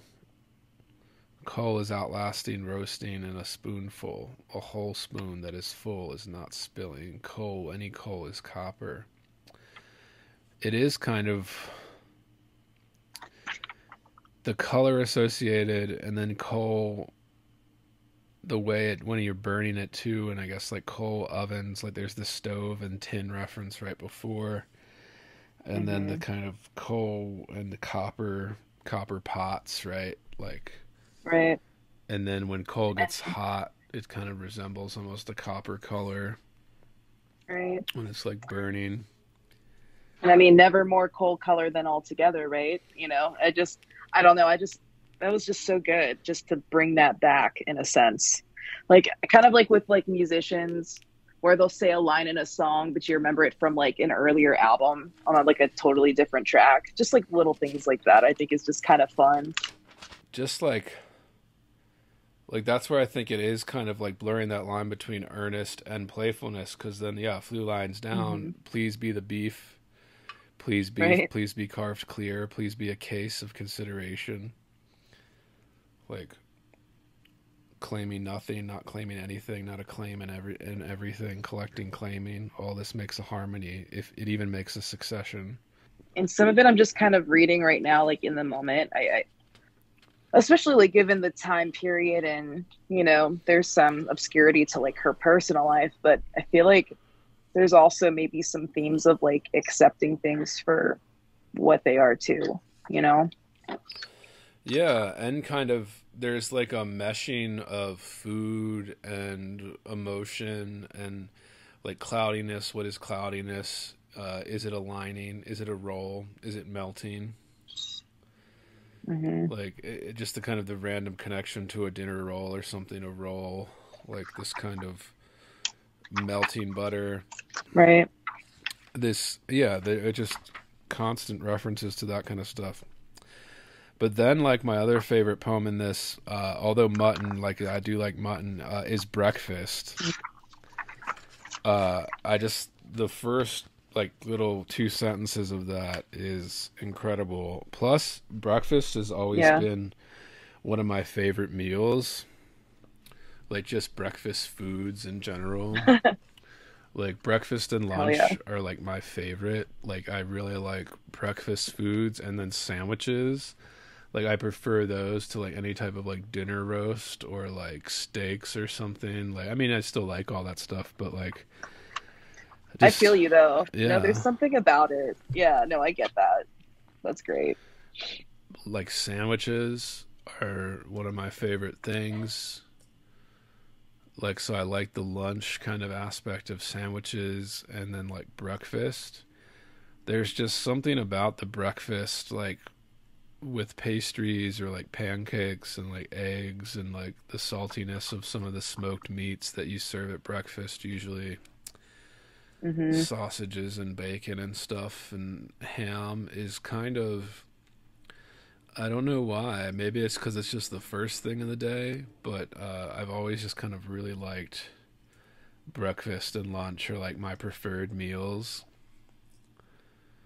Uh, I mean, I like dinner too, but like I just like club sandwiches are I think one of the best inventions in the history of the world. No, that's the funny thing too, because my my boyfriend, like, if we're like trying to figure out what to eat on like the weekend or something, he's like, "Hey, like, what are you craving?" And I'm like, "I don't know why, but I just want a damn sandwich. I don't know what it is. Sometimes that it just hits, you know? Yeah, simplicity, right? It's one of my go-tos if I'm at a restaurant. I'll usually get like a club sandwich at like a diner or something, and it because it Oh, is yeah. just it's it's one of the most indulgent sandwiches too. Like speaking of indulgence, like it is hmm you have usually two meats or more on this sandwich and yeah three a lot of times and you have the bacon and then you have the three pieces of bread like that's an indulgence Oh yeah, it'll still stick to your ribs for sure. well just like you can only create like oh like we had to invent sandwiches and then we invent this club sandwich which is like this kind of taking that pleasure level of food to the next you know the next step Mhm. where it is super indulgent version of sandwich and it is Right. like yeah there's something simple about it but i think there's an elegance to the sandwich as well like i like Oh sure. i'm not a fan of fancy sandwiches like i really don't like paninis or stuff that's toasted that like i prefer the cold sandwich i mean i still like them but like they're just if Mhm. I had a choice, that's like a level like too much for me. I'm very particular about food, so food is like one of those things where I always have these test items. Like if I go to a restaurant or something, well, it's like what are they serving? And if it's like you Mhm. know, there are different tiers to that too. The way it works in my head is like, you know, it's okay. Well, how's the club sandwich if it's like a sandwich place, or like if it's like a pizza place? It's like okay, well then pepperoni pizza. Like how is that? Because if that Mhm. not good, then nothing else you're serving is going to be good. Like there's this like bullshit. Like we've reached a level of indulgence with food. I think too that's almost like disgusting. With like uh, Mhm. these like cheeseburger pizzas or whatever. Like these pizzas trying to be something that they aren't. Like it's kind of. I can't stand that shit. And I'm like, this is gross. It's sloppy. Like, you can't even pick it up and like enjoy a that's fair. slice. Yeah, like it's just like you. It's it's so weighed down with indulgence that you can't even eat it like a piece of pizza. You have to.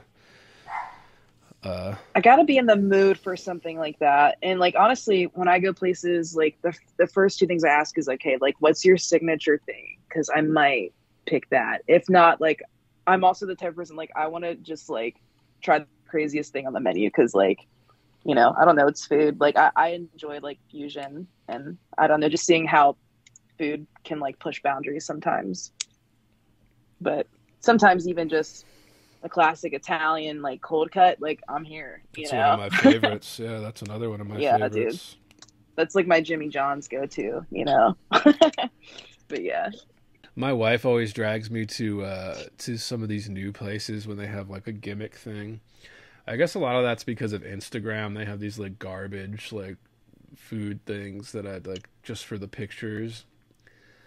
And then Sure. they're like, she always wants to drive me to some place that's like a new thing, and I'm always just like, you know, I can already tell you what this is gonna be. Like, I already know this is gonna be overrated. Like, the picture looks better than anything tastes, and uh,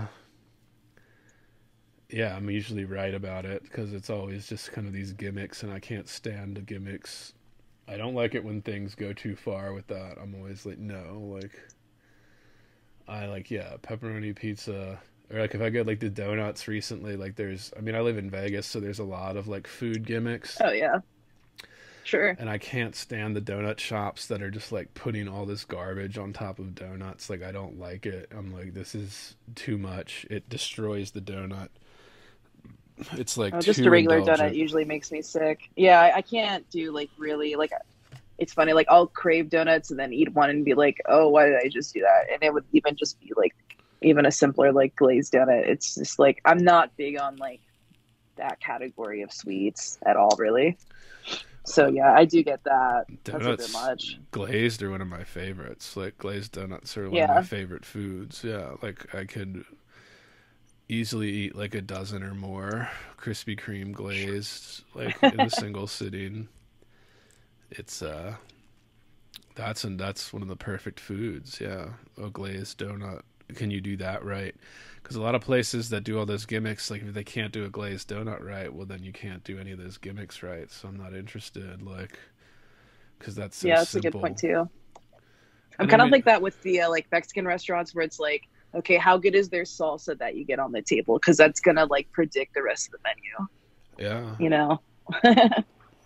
Mexican's one of my favorite cuisines as well. Or really, I should say Tex-Mex.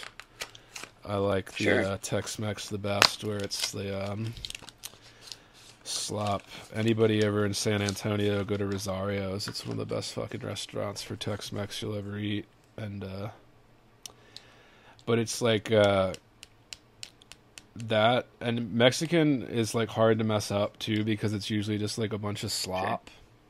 Like it's just like a slop on the plate, and they just cover it in sauce. Especially if you go like the really authentic places, it's just like a bunch of slop in a tortilla, and they just put like sauce over top of it, and it's great. Like that's one of my favorites. But like when it's bad, it's like, oof, all right. Like what did you do here? Yeah. I mean, I think it, it's hard to mess up. I think it's more of like for for me, from like at least from my understanding, like a lot of it they actually like marinate beforehand, and then they throw on like whatever additional sauce, so you can still like taste the flavor in the chicken. But my thing is like, as long as you don't dry out the chicken, I usually have a good time at most Mexican joints. Yeah, classic staple, classic staple. Yeah, Yeah. that's always good. Especially like the Tex-Mex plates that like that you do like the combination plates. So you get like a little bit of everything on there too. Oh yeah, sure. That's definitely like one of my favorites. And I know if if Stein were alive right now, she would be loving those places too. But I guess I don't know if they actually. Fuck yeah. There might have been one or two places that existed that was serving that kind of cuisine, but maybe not in Sure. Paris. Right. But like breakfast, her her poem, like the, the the first few lines of this, I just thought were incredible. Like a change, a final change includes potatoes. This is no authority for the abuse of cheese. What language can instruct any fellow? And I just am like, this is incredible. A sudden slice changes the whole plate. It does so suddenly. An imitation, more imitation. Imitations succeed imitations. Yeah, they do. Uh, anything that is decent, anything that is present, a calm and a cook, and more singularly, still a shelter, all these show the need of clamor. What is the custom? The custom is in the center. Oof. I just, incredible, incredible. And again, mainly because I'm biased towards breakfast, but I think just like the idea of this, there is no authority for the abuse of cheese. Uh, it's these judgments it's the judgment in what's on her plate it's the judgment in taste and maybe this is why i'm so drawn to stein and her kind of work even if it is kind of abstract and out there is that mm-hmm. i think it is always getting across these little pieces of judgment and i don't know i guess i'm just one of those people that's constantly like thinking about everything all of those things at all times. Like how does this feel? How does this taste? What does it look like? Like how does it is it aesthetically pleasing? And why is it aesthetically pleasing? Why do i like it? Why don't i? Like i'm just this type of person. And i guess stein was too which is why she was this huge instrumental figure. And i mm-hmm. think even something simple like this this this prose poem about breakfast just shows why she's she's she was so important to to this movement. I mean, the fact that she was first reader on almost all of the the big modernist writers' books, I think says a lot. Uh, and the fact that she was trusted by all of them like like you have to earn that that isn't just something that somebody does like you have to kind of Right. earn that trust from somebody to give them your art piece and be like you know what do you think about this Right, and I don't suspect it was like nepotism either, because I mean they could have got to like any. I think they considered her place like a salon or whatever club or whatever you want to call it. Like they could have really went anywhere, right? So like, why her? But I mean, she was a pretty intelligent person in general, just from like what I read about like her education and stuff like that. So makes sense, and and I still like with all this, it still draws me back to the narrative because like to your point with the judgment, it's like sure there isn't like a narrative, there isn't necessarily like a conflict or goal, but then you get these little like sound bites of like narrative, but then it's so distant because it's third person, but it technically is her bias, her opinion, her observation. So there's a lot going on there. It's just interesting. It's it's just so different in that like structure, you know? Yeah. You're so close but so far you know? It, that's what's so funny about it. Yeah again with that then it leaves you to interpret. Yeah. Yeah. The blurring the ideas into it. And breakfast is a Right. longer poem too. Mm-hmm. yeah it's a big one. Right, and I just think it's it's so the images are so original and unsuspecting to Suspect a single buttered flower, suspect it certainly, hmm suspect it and then glide. Does that not alter accounting? A hurt mended stick, a hurt mended cup, a hurt mended article of exceptional relaxation and annoyance, a hurt mended. Hurt and mended is so necessary that no mistake is intended. And there's this rhyme that like uses it without actually using any lines to rhyme it either. It's all implied in the internal aspect of kind of the prose. hmm And then again, yeah, more references to the previous. What is more likely than a roast? Nothing really, and yet it is never disappointed singularly.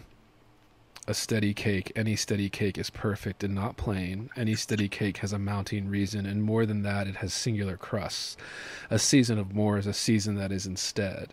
A season of many is not more a season than most.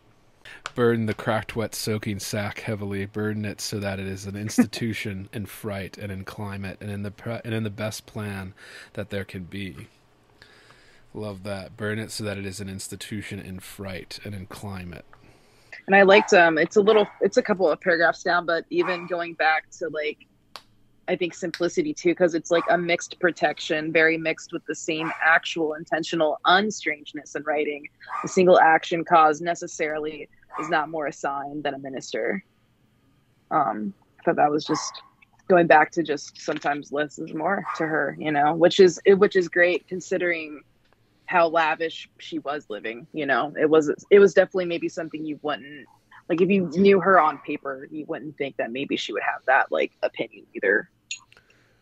Yeah, I'm always fascinated by wealth as it's depicted in literature and stuff like that. And there's this tendency to hate wealth at this point in time, but also be envious of it. Like people want it, but then they hate Sure. it and they just like, oh, well, you, you know, whatever, you're rich. And it's like, well, mm, classist right you know it's it's it's it. hard Yeah, like I mean, you would definitely want it. So like, there's this like, I think like I, I talk about this a little bit on on an old old episode, a first episode with Edith Wharton. Um, oh i did listen to that yeah because i tried to like before i did your interview i was like trying to like listen to everything from the beginning and then i saw john keats and i'm like okay i have to hear this and i was just and then i started bouncing around so i'm like all over the place with like your episodes yeah, no worries. It's but this idea of wealth, like there is this level to it where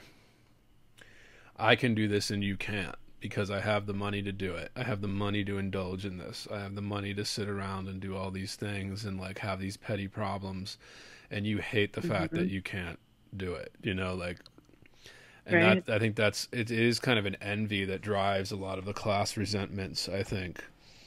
And uh hmm and it people are just dishonest about it whereas you know that wasn't really a thing yet in like literary studies that became more of a Mhm. thing when kind of marxist kind of um theories became uh, commonplace in the academy, and that was like the sole thing people were using, or at least it gave them something to say about works of art other than talking about the works of art. And like, I'm just like, yeah, it's so dishonest to say that that isn't driven from like an envious standpoint, whereas people Mhm. literally pray for this, wish for it, dream for it, like uh and Stein had it and uh all these other writers, you know, like had it, Wharton had it, like these kind of unimaginable wealth.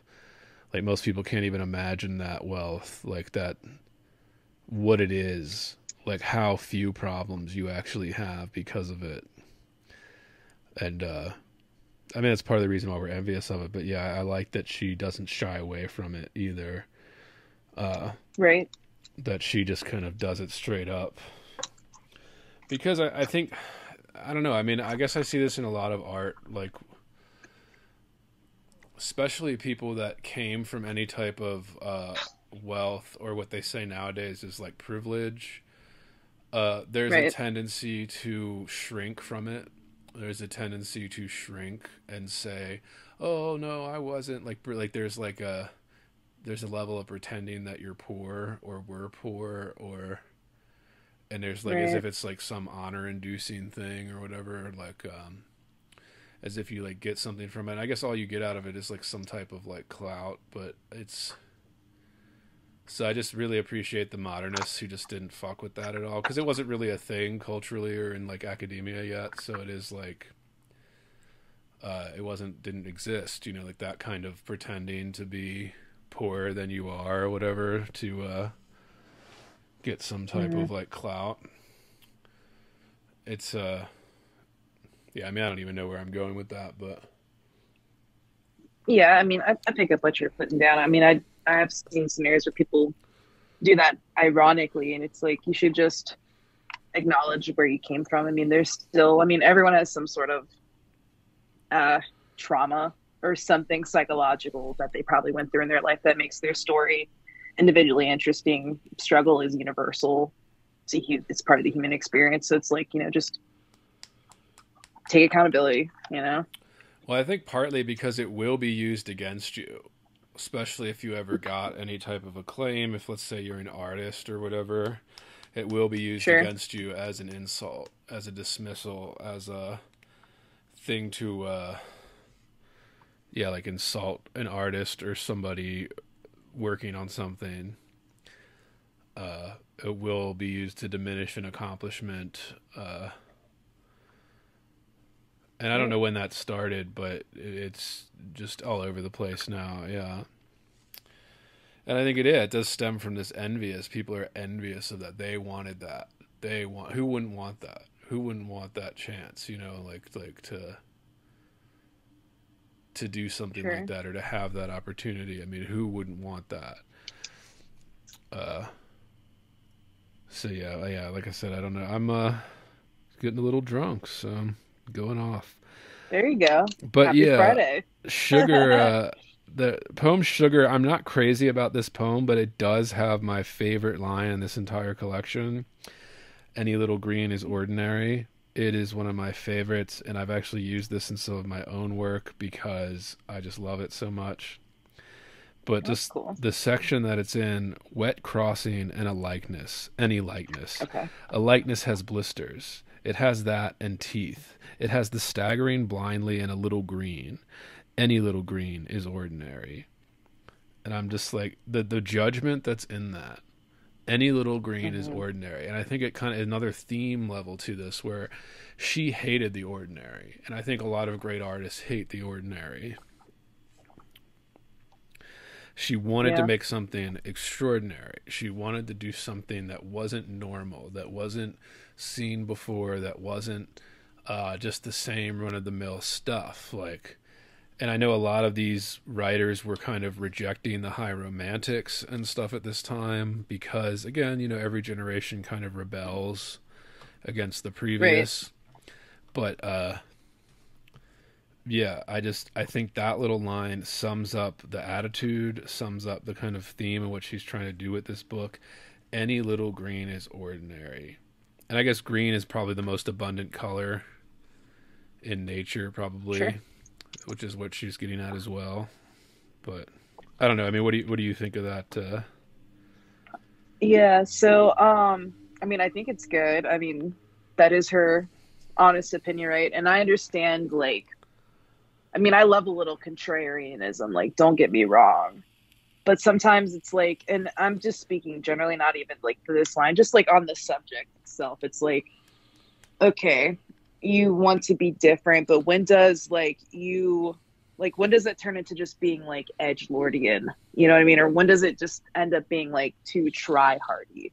And like sometimes in certain like stuff with this, like maybe it's the like the non cohesive parts, it's like this is a bit reachy for me. But I understand given the time period, like why she just went so hard in the pain with it. You know, like so like it's hard for me to argue it either way because it's like you know good for you at the same time because at least you did something different. I mean i don't necessarily write like this. I mean i've done like tangents like this and I, maybe it's rude to call them tangents but like i've written like that a little bit like in high school. Um but also it's like this is also 2024 so like i have a completely different perspective and influence. But i have huge respect for the work in itself, you know, because even when I like when you said about inspiring, I mean, even if I don't fully like the structure or how it looks on the page, when you read it, I mean, there's a lot of really good words in here, even if the verbs aren't like quite as powerful. I think sometimes people use verbs to overly color certain texts, you know, at least in the modern like kind of stuff that we're doing today. There's so like, like some of the simplicity yeah. I appreciate yeah so like some of it can be a little too over the top with the verbs where it's like okay you like you're on thesaurus.com and like went a little too hard. But like with this the verbs are simple but then all of the like you know like the the nouns and everything like she really put a lot of thought into and like i'll have to give her that. So it is it's different. It's true like when you when you're going for something like that and um like we already said, I mean, that means that there's going to be a lot of failure. Yeah, that there's going to be a lot of things yeah. that don't work.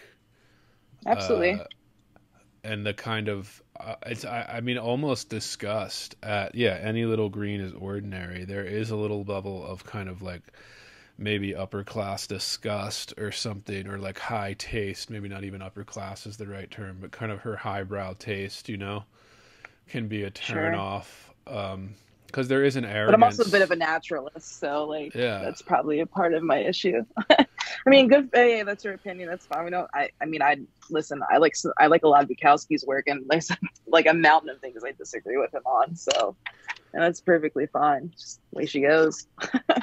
yeah. Well, I mean, yeah. I think there's like an arrogance to it, right? Which is which can be a turn off uh, when people are super snobby, or if she was definitely a snob, you know she was definitely kind of she wasn't shy about it. Yeah yeah. And and it just goes back to me that kindness isn't earnest. And i think like earnesty in her perspective you definitely that's why i think a lot of the writing like can be honest in here. But it still gives you because it's not like her saying it definitively it's just in third person it still gives us the chance to form our own opinions. And but we can still see like certain little like sparks of her personality in it, which like I, I think is like a really nice touch, you know. And like there's I, I yeah that line about being er, because like when you all right let's you know you're writing something and everybody that writes knows this Shaylin knows this people listening know this like you know you give it to a friend or something and they're almost like you know being kind about a work right is is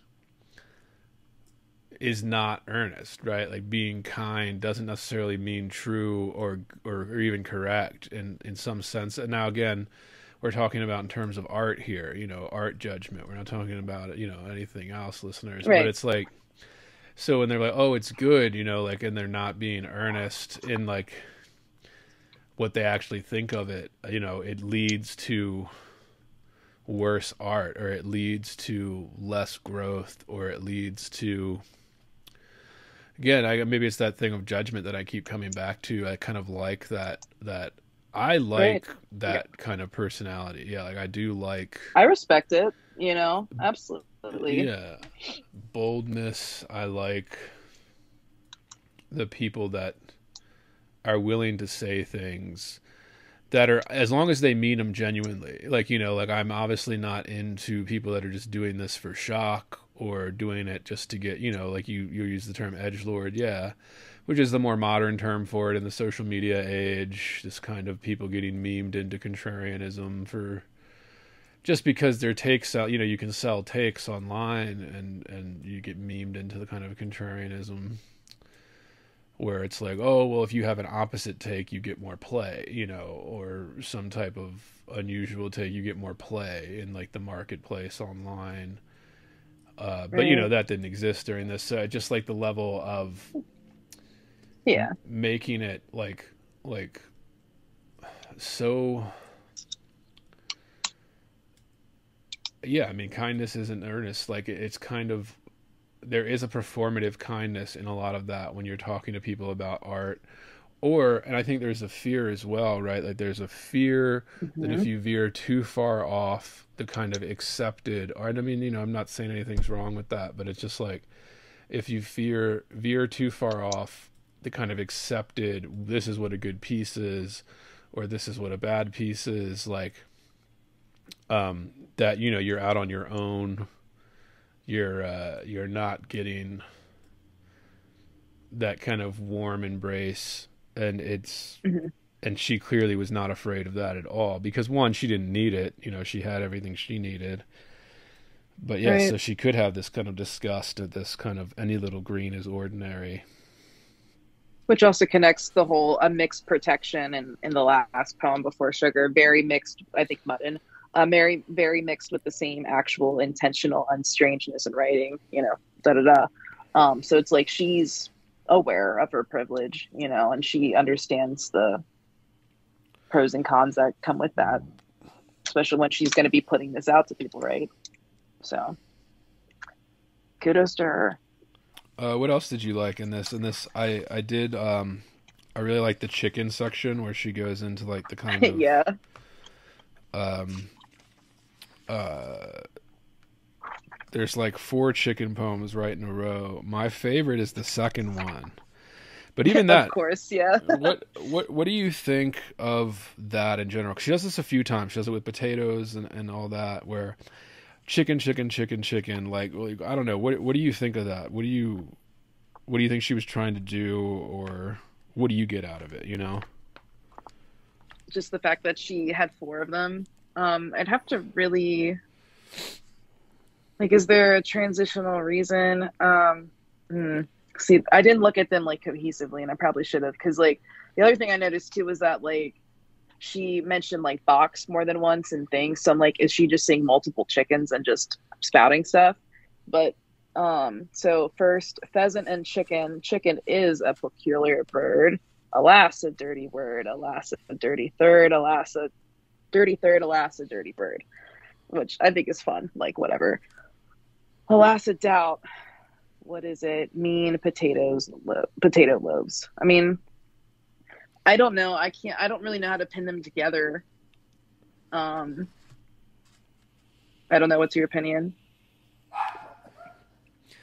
My initial thought was that they were almost like yeah, like kind of revisions of the previous one, or that they're meant to be in some type of communication. I mean, she almost does this with kind of the certain words, like um, a particular is a particular third, and then the next one uh, a dirty third, and then the next one alas, where she kind of switches to alas to connect them and then kind of um, the last one almost sticking, but I mean, really doesn't have anything else to do with it besides chicken. It, it's like, I mean, she does it with potatoes too, and I didn't, I didn't look at those as closely on on the previous pages where she potatoes, potatoes, roast potatoes, right and those are even less, I think, poetic. Where yeah, real potatoes cut in between, in the preparation of cheese, in the preparation of crackers, in the preparation of butter, in it potato roast potatoes for. Right I don't know, like it's supposed so to like back to this repetition again yeah, and I don't know if they're they're supposed to be like in some type of communication with one another. I mean, it would make sense if they were because one, they're called almost the exact same thing: potatoes, potatoes, roast potatoes, and then the chicken, chicken, chicken, chicken, chicken. And it's Right. It's, and I mean, I guess it's almost like chain linking, but yeah, yeah. almost to uh, get us to this this. Yeah, I mean, I don't know. I mean, I originally thought that these were almost yeah in in revision or in conversation with one another, but right. uh, it would only because I mean they're not meant, I think, to make any particular like deep, meaningful sense, but I think they're meant to um, redefine or or I don't know that Oh, last shoot. one especially stick, stick, call then stick, stick, sticking, sticking with a chicken, sticking in an extra succession, sticking in. Right, because it's like the third she mentions potato again, and then like two and four. I mean, they're both like, I suppose, phallic in nature, but it's like when you look at all four of them together, the only other thing I can think is just like one is like a domino effect of the other, and it's just like stream of consciousness to me. And like chicken's just a great sound, like chicken, chicken, chicken, stick, stick, It's just stick. fun. Yeah, stick, stick, Right. call then stick, stick, sticking, stick, sticking, with a chicken. Yeah, Uh, like I enjoyed all four. Like they're fun, you know, whatever. And just to warn you, my uh, my AirPods are on like nine percent, so I might have to do something about this. One second. yeah, no worries.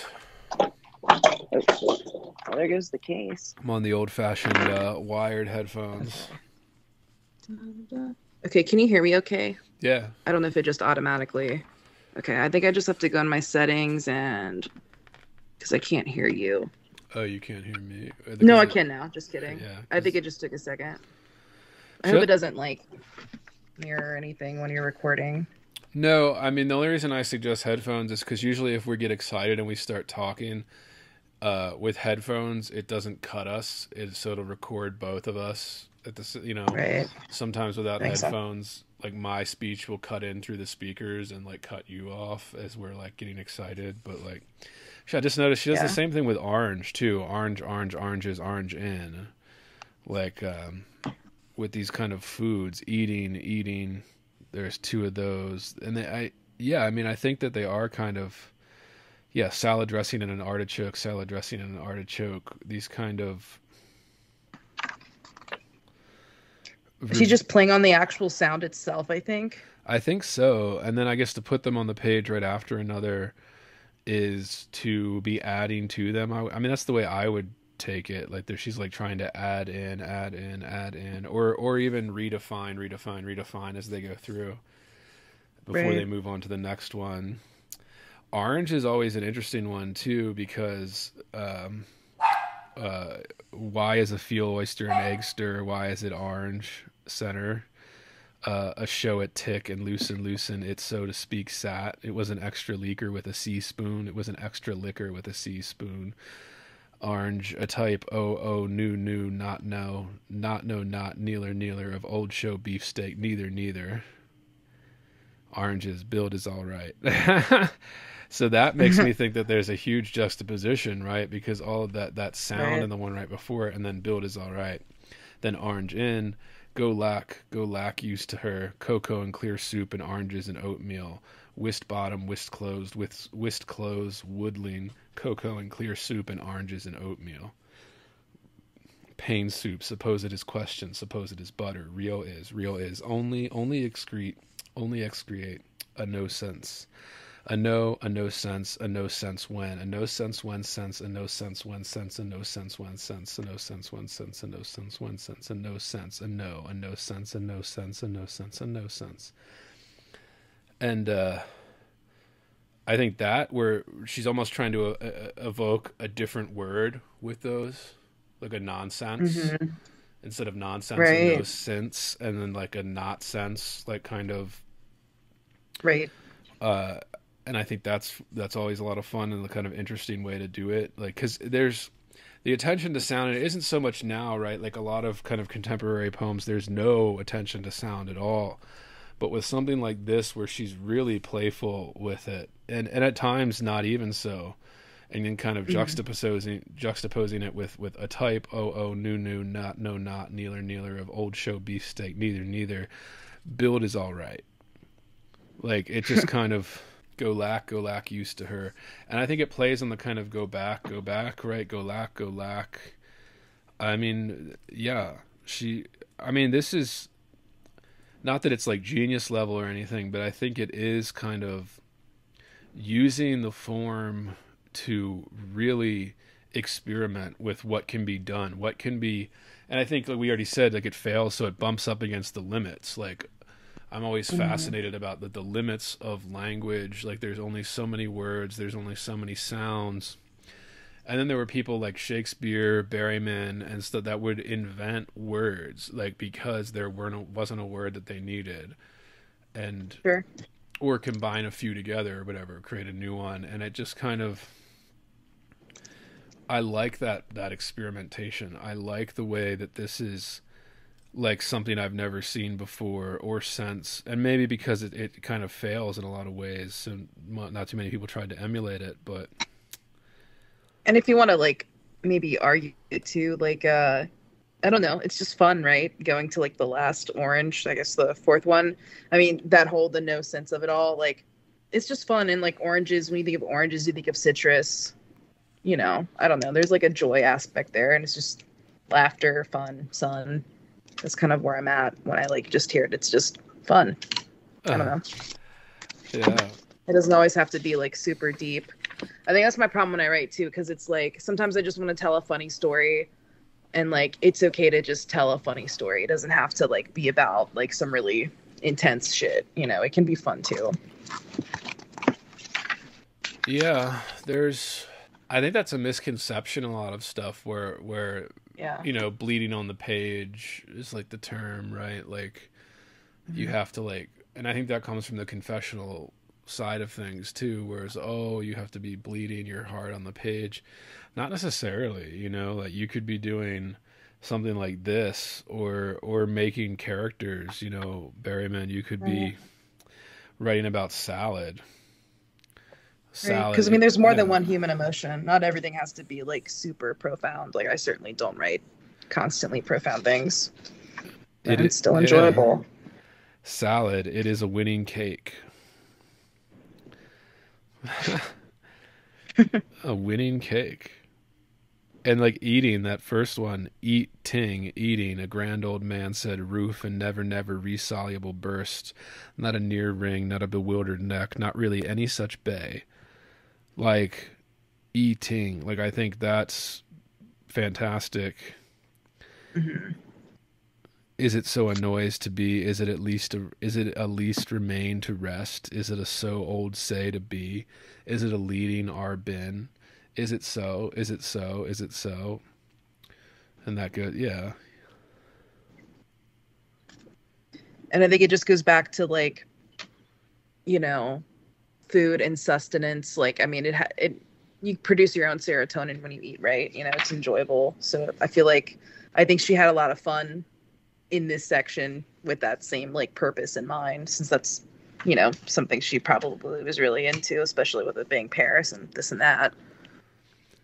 and just yeah eating he eat eating he heat eating he heat it eating he heat it heat eating he heat eating a little piece of pay of pay owls owls such as pie bolsters. And I- think there there is this this in in using sound to to mean something else. Right. like eelus eelus with no no p no p cool. Eelus eelus it's almost like feel us right? But then it's like eel okay you actually eat eel uh uh no p cool cooler there's a level of discovery within that i guess is is is george's mass yeah Right. I, I that's part of what I get out of it too. Or just yeah, a salad dressing and an artichoke. It was please, it was please carriage cup and an ice cream and an ice cream. It was too bended, bended with scissors and all this time. A hole is inside a part. A part does go away. A hole is red leaf. No choice was where there was and a second and a second. And the more I'm reading this, the more I'm kind of in, engrossed with it too, with this kind of please pale hot, please cover rose, please acre in the red stranger, please butter all the beef steak with regular feel faces. Like that I is- really like that. Yeah, incredible. And it's called salad dressing and an artichoke. Yeah. I mean, I feel like this, like, maybe it's just me projecting here as a bisexual woman. go on, and, but, like, go on and uh, project. Yeah. Okay, cool. Um, I don't know. I think this is a lot. Like, I, I think another thing in here too is like, while kindness is not earnest, I I still think there's a lot of while she's being observational. I feel like there's a lot of things about like acceptance, and I think it's I think a lot of this deals with her wanting acceptance and her maybe even trying to get that with like her own like sexuality. I don't know enough about her, and maybe I'm just psychoanalyzing her, but with someone who's so into psychology, and, and I don't want to get into rooms just yet, but I feel like when you look at it overall, while these are her observations and her perceptions of things, I think this also shows just like the human experience at the most mundane, the you know all the different highs and lows of a human experience because we have like some you know funny whatever stuff but then we have like all these pleas in here too you know? Like an actual plea in a sense.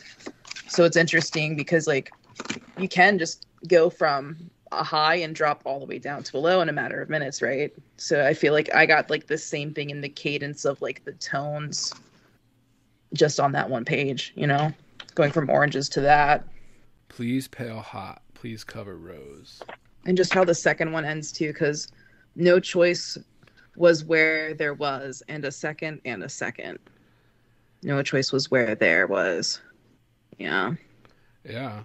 i don't know. I was like that to me at least like when i read it i'm like that's kind of heavy man. But going from no sense to that you know. It's one of those collections where like the more you read it, the more it starts to make sense to you.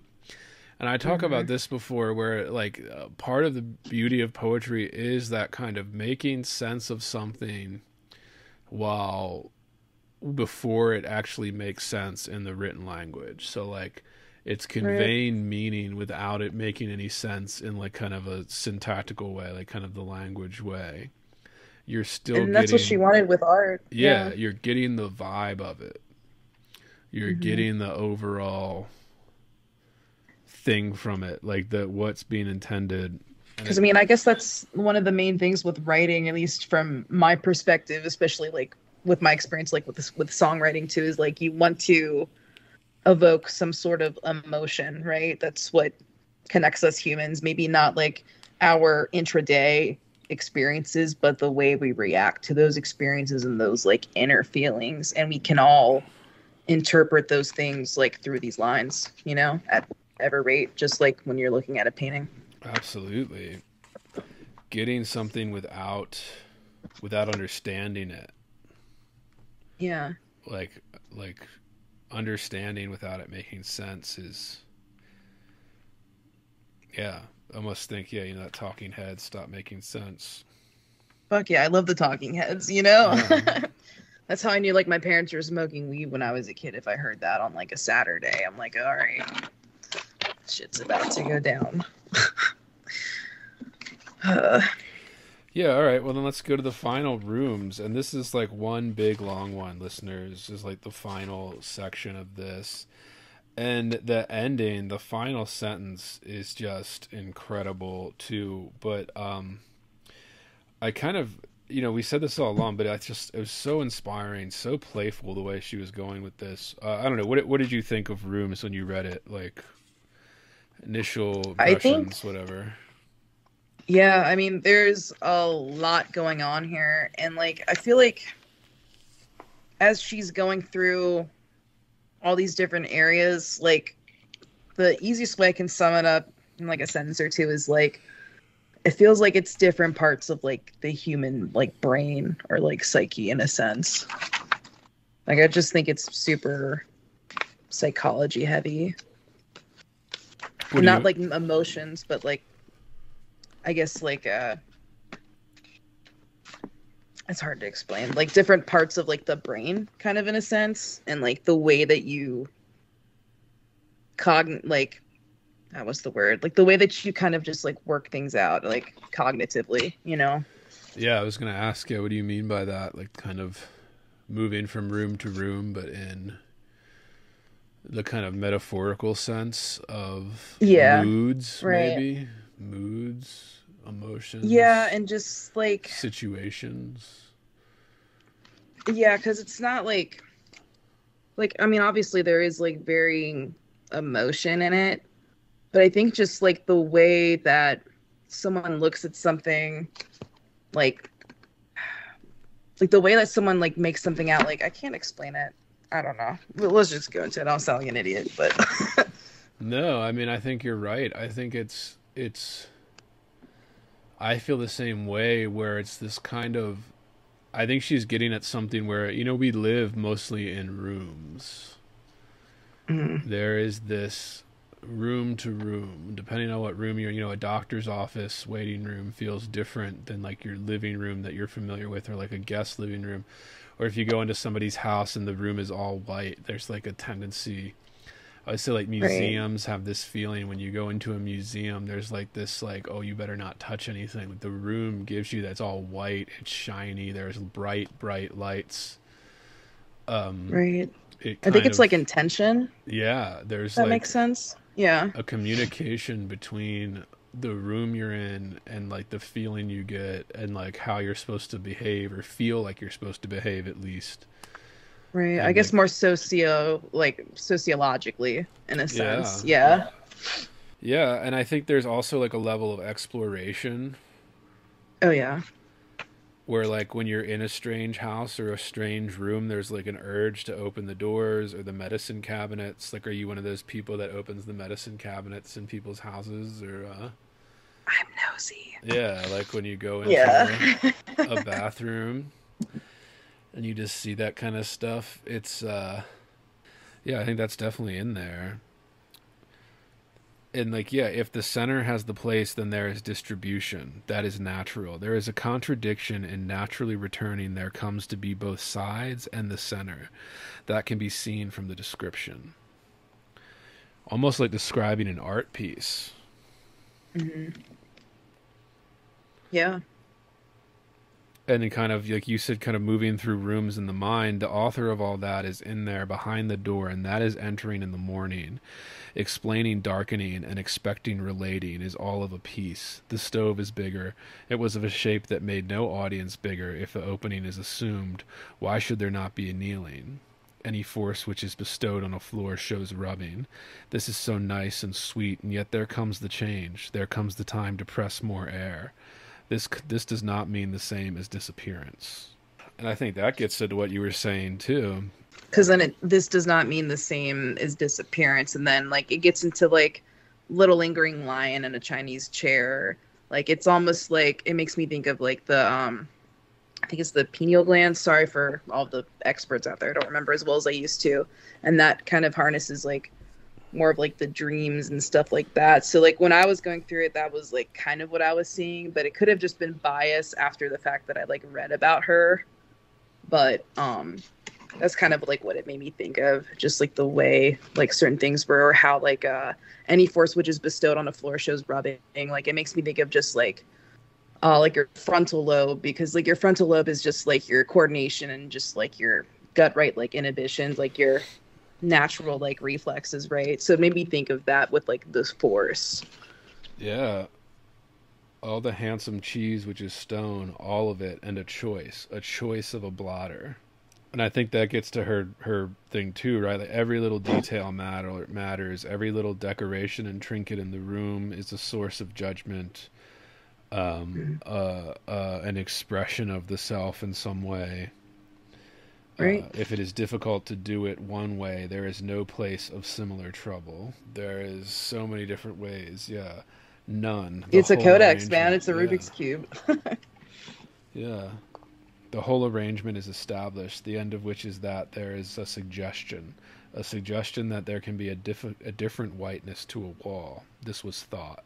And I think that gets to what you're saying, too, like this kind of looking at the the tone of whiteness on a wall, right? Like there's all those different shades of color where they have like the eggshell, or there's like the soft, or like the off white, or uh, I mean any color, and then you think of it in the thought, yeah.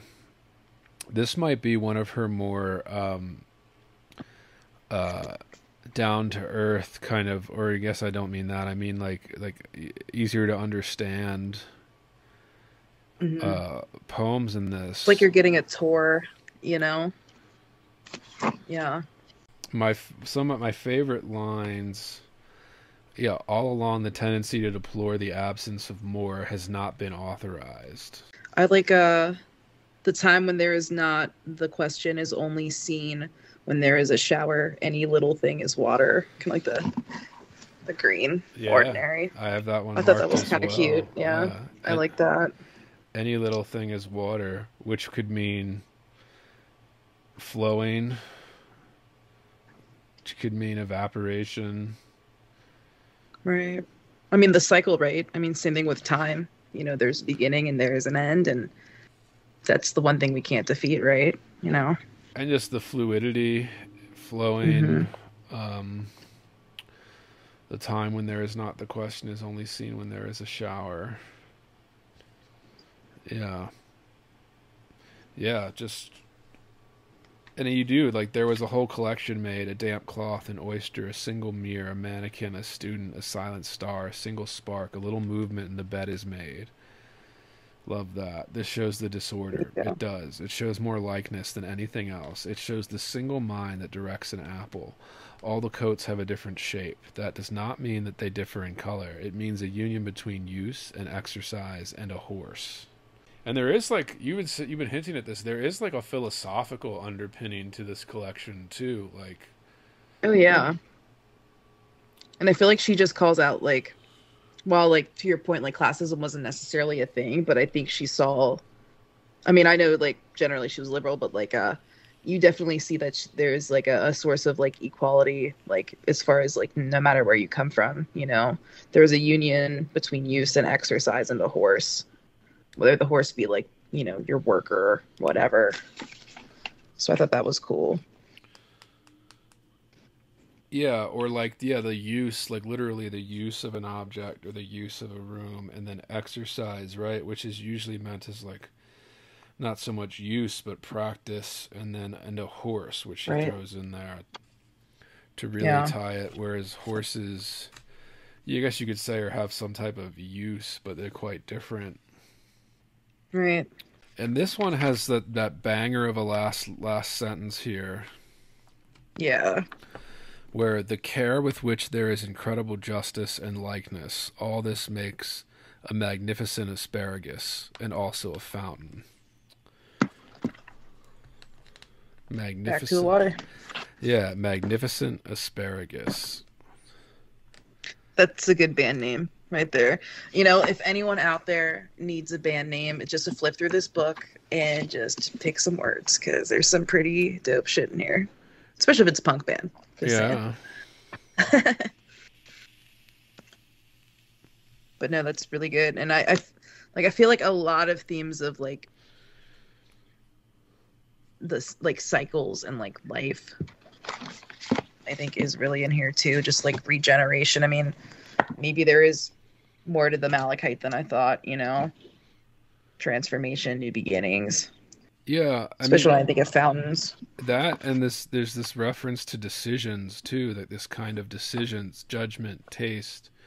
That whole Yeah. last thing I didn't even realize is that that one long sentence and then that last short sentence what what was the sensible decision period? The sensible decision was that notwithstanding many declarations and more music not even notwithstanding the choice and a torch and a collection notwithstanding the celebrating hat and a vacation and even more noise than cutting notwithstanding Europe and Asia and being overbearing not even notwithstanding an elephant and a strict occasion not even withstanding more cultivation and some seasoning not even with drowning and with the ocean being encircling, not even with more likeness in any cloud, not even with terrific sacrifice of pedestrianism and a special resolution, not even more likely to be pleasing, The care with which hmm. the rain is wrong, and the green is wrong, and the white is wrong. The care with which there is a chair and plenty of breathing. The care with which there is incredible justice and likeness. All this makes a magnificent asparagus and also a fountain.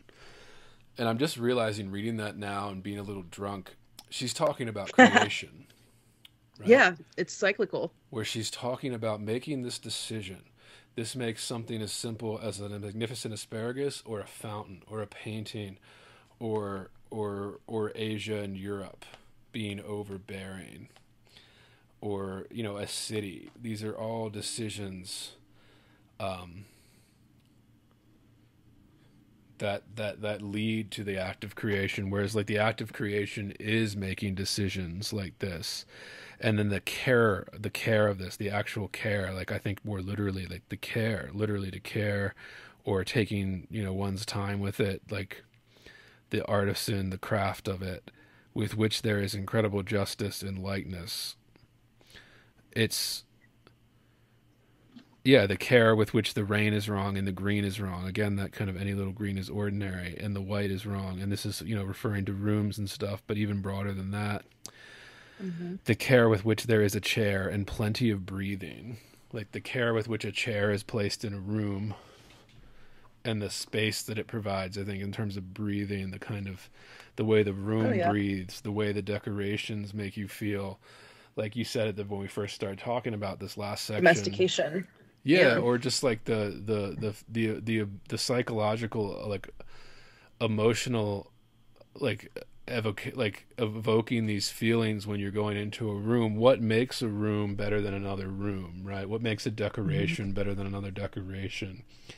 What makes it mm-hmm. wrong or right or correct or something you know and i think even more so in art making right like what makes something good or bad what makes it work what makes it does what makes it not work like these I mean, the are- care with which there is a chair. I mean, she's pretty much asking you to sit, right? You know, and that's what it's, it's all about. we're I mean, like- and then you go back to the very first poem, the last sentence, the difference is spreading, hence the cycle, hence the fountain and the flow. So, yeah. Yeah.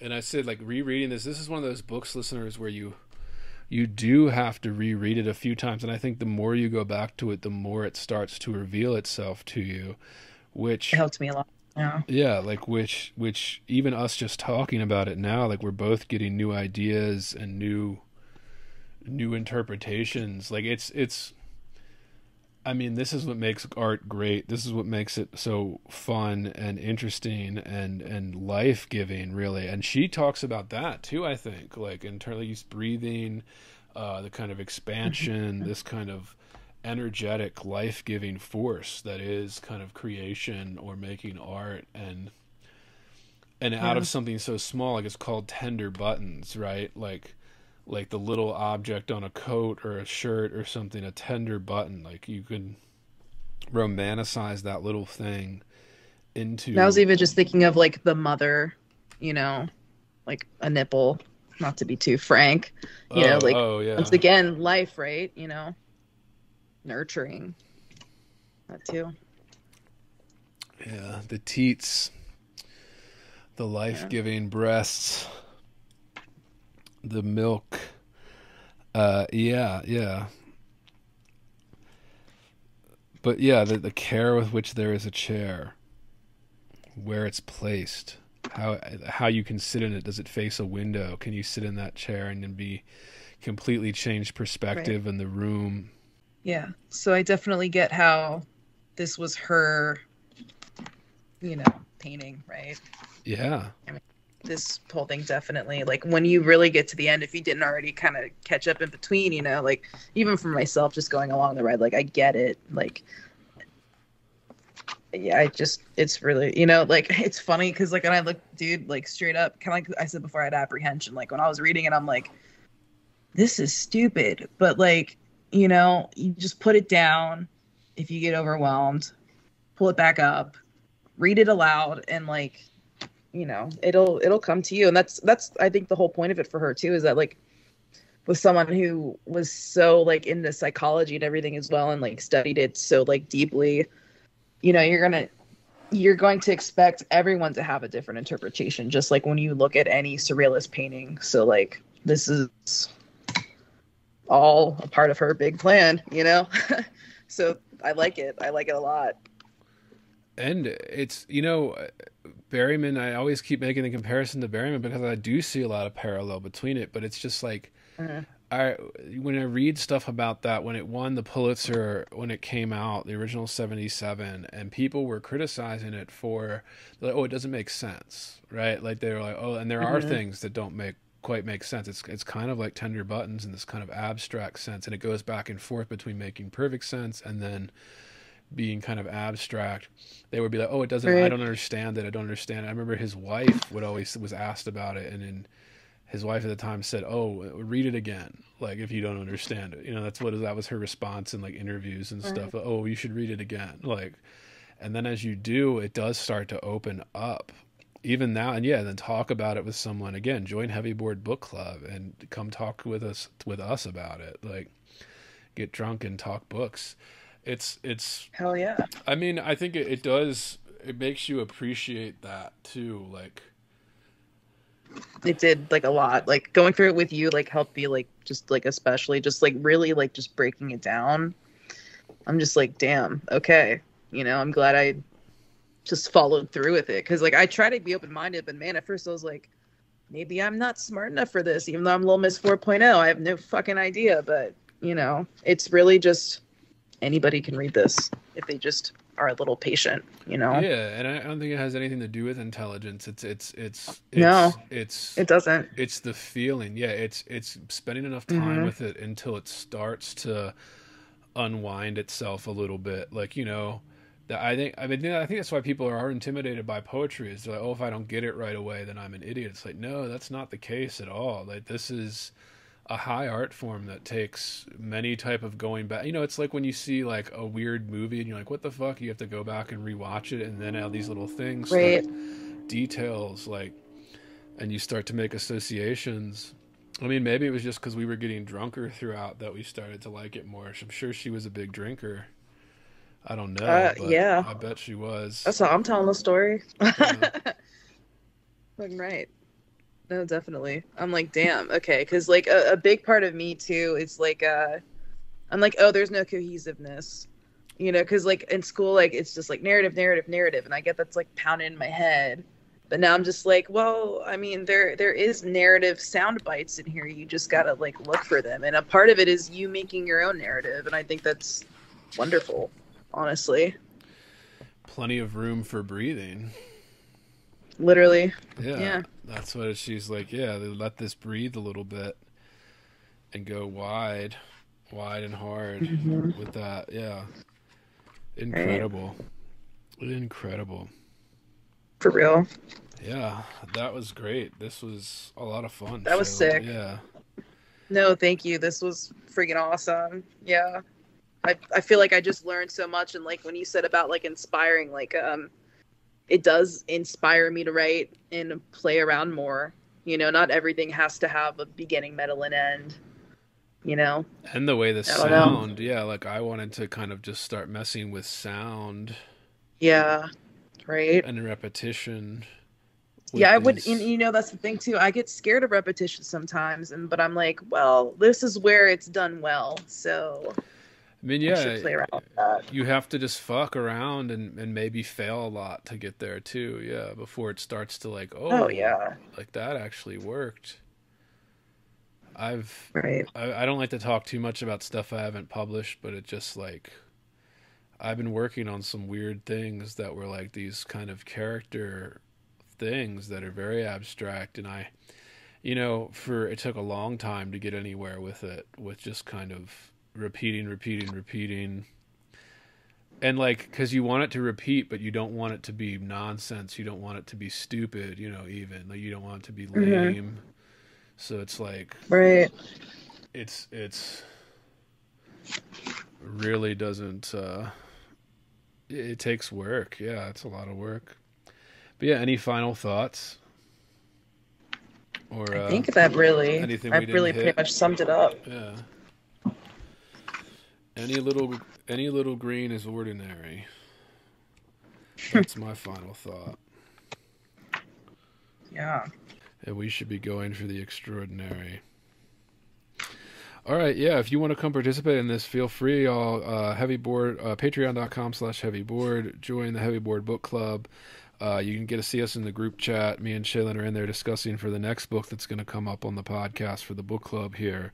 So this is going to be a reoccurring thing. If you want in, patreon.com slash heavy bored. Check it out. Uh, and you also get in on the group chat that we have with that, where we kind of discuss these books and, and where to go with them and what to do next. And you can put your input in there, what you'd like to go over uh, with others in the in the group and all that. So yeah, Shaylin, this has been fantastic. Uh, let's do it again. Let's do it again. Hell yeah, man. Thank you so much.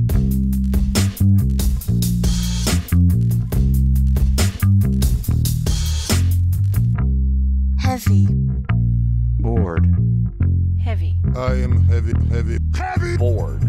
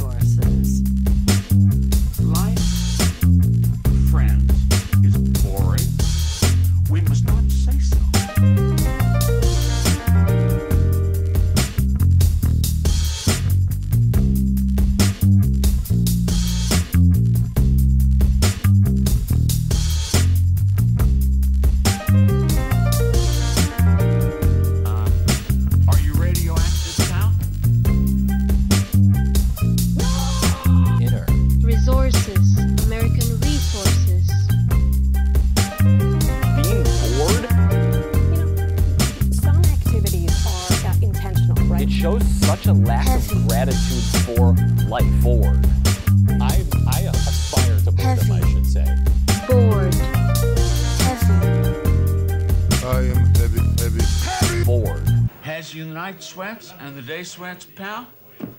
Pal, I do.